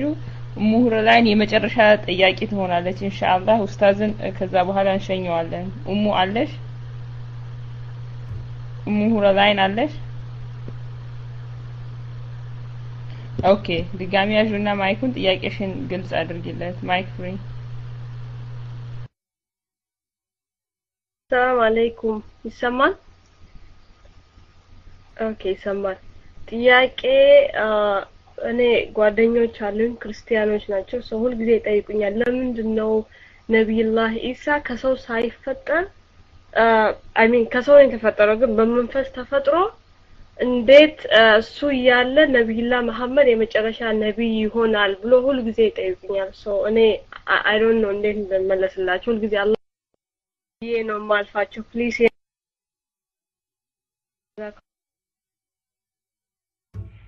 ሰላም አለይኩም ወረህመቱላሂ ወበረካቱ ይሰማል ኡሙ ሁረል ዐይን ከተሰማሽ አንዳንድ ጻፊ ለጠየቁሽ ጥያቄ አላህ ያውቃል ብለሽ ከመመለስሽ የበለጠ ምንም እኮ መልስ ሊኖር አይችልም። ከሁሉ በላይ እውነተኛ አዋቂው ጌታችን አላህ ነው። ጥሩ መልስ ሰጥተሻቸዋል። እግረ መንገድ ተጨማሪ የሆኑ ምላሾችን ልስጥሽ።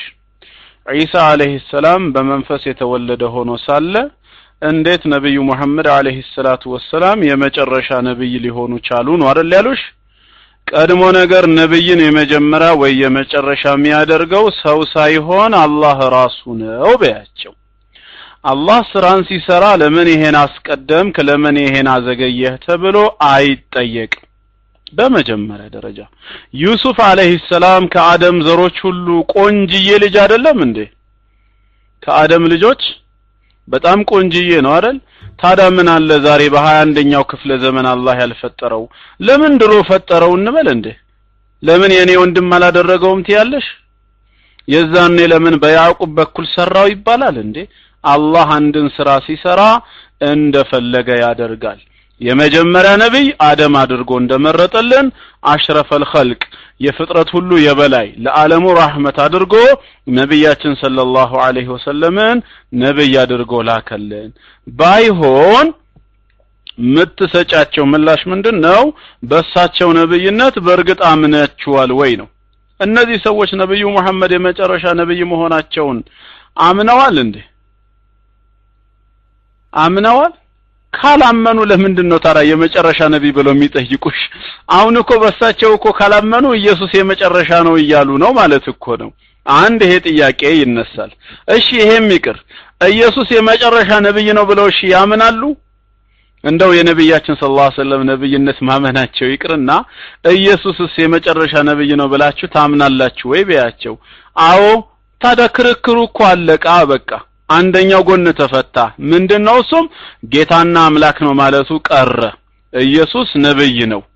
አሁን ክርክሩ የመጨረሻ ነው ወይስ አይደለም በሚለው ነው የሚሆነው።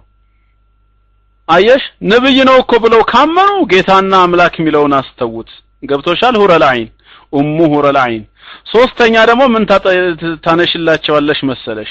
እንደገና ነብይ ነው ብለው ካመኑልሽ እስቲ የቱ ጋ ነው? ኢየሱስ የመጨረሻ ነው የሚል አምጡ ማስረጃ በያቸው። አያመጡም እኮ ኢየሱስ የመጨረሻ ነብይ ነው የሚል። እና ለማንኛውም ነቢያትን በዚህ ጊዜ የሚመርጥ እንደፈለገ የሚያደርግ አላህ ነው እንጂ እኛ አይደለንም። ኋይ ብለው ለጠየቁሽ ጥያቄ አላህ እንደሚፈልግ ስለሚሰራ ፈዓሉን ሊማ ዩሪድ እንደሚፈልግ አድርጎ የሚሰራ ብቸኛ ጌታ ነው። ላ ዩስአሉ አማ የፍዓል ከሚሰራው አይጠየቅም አይጠየቅም። ወሁም ዩስአሉን እኛ ግን እንጠየቃለን። ሱረቱል አንቢያ ምዕራፍ 21 ቁጥር 23 ላይ ማለት ነው። ታዲያ አንቺ ዝም ብለው እኮ ሲጠይቁሽ ማንኛውም ጥያቄ እኮ ዝም ብሎ መልስ አለው ማለት አይደለም። አንቺም ጠይቂያቸው። እናንተ ለምን ከኔ ጋር በዚህ ዘመን ተፈጠራችሁ አትያቸው? ለምን የዛሬ አንድ ሺህ ዓመት አካባቢ ለምን አትፈጠሩም ነበር? ለምንድን ነው አላህ ዛሬ የፈጠራችሁ ብለሽ ጠይቂያቸው? ምን ብለው መልስ ይሰጡሻል አላህ እንደፈለገ ነው የሚሰራው። ስለዚህ ጌታችን አላህ ዒሳን ከነቢያችን አለይሂ ሰላቱ ወሰላም በፊት አድርጎ ነብይ ያደረገው ለዓለም rahመት ደግሞ እሳቸውን አደረገ።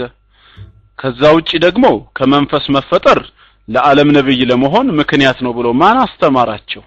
ዒሳ የተላከው ለበኒ እስራኤል ነው ለዓለም rahመት ሆነው የተላኩት ነቢያችን ሰለላሁ ዐለይሂ ወሰለም ናቸው።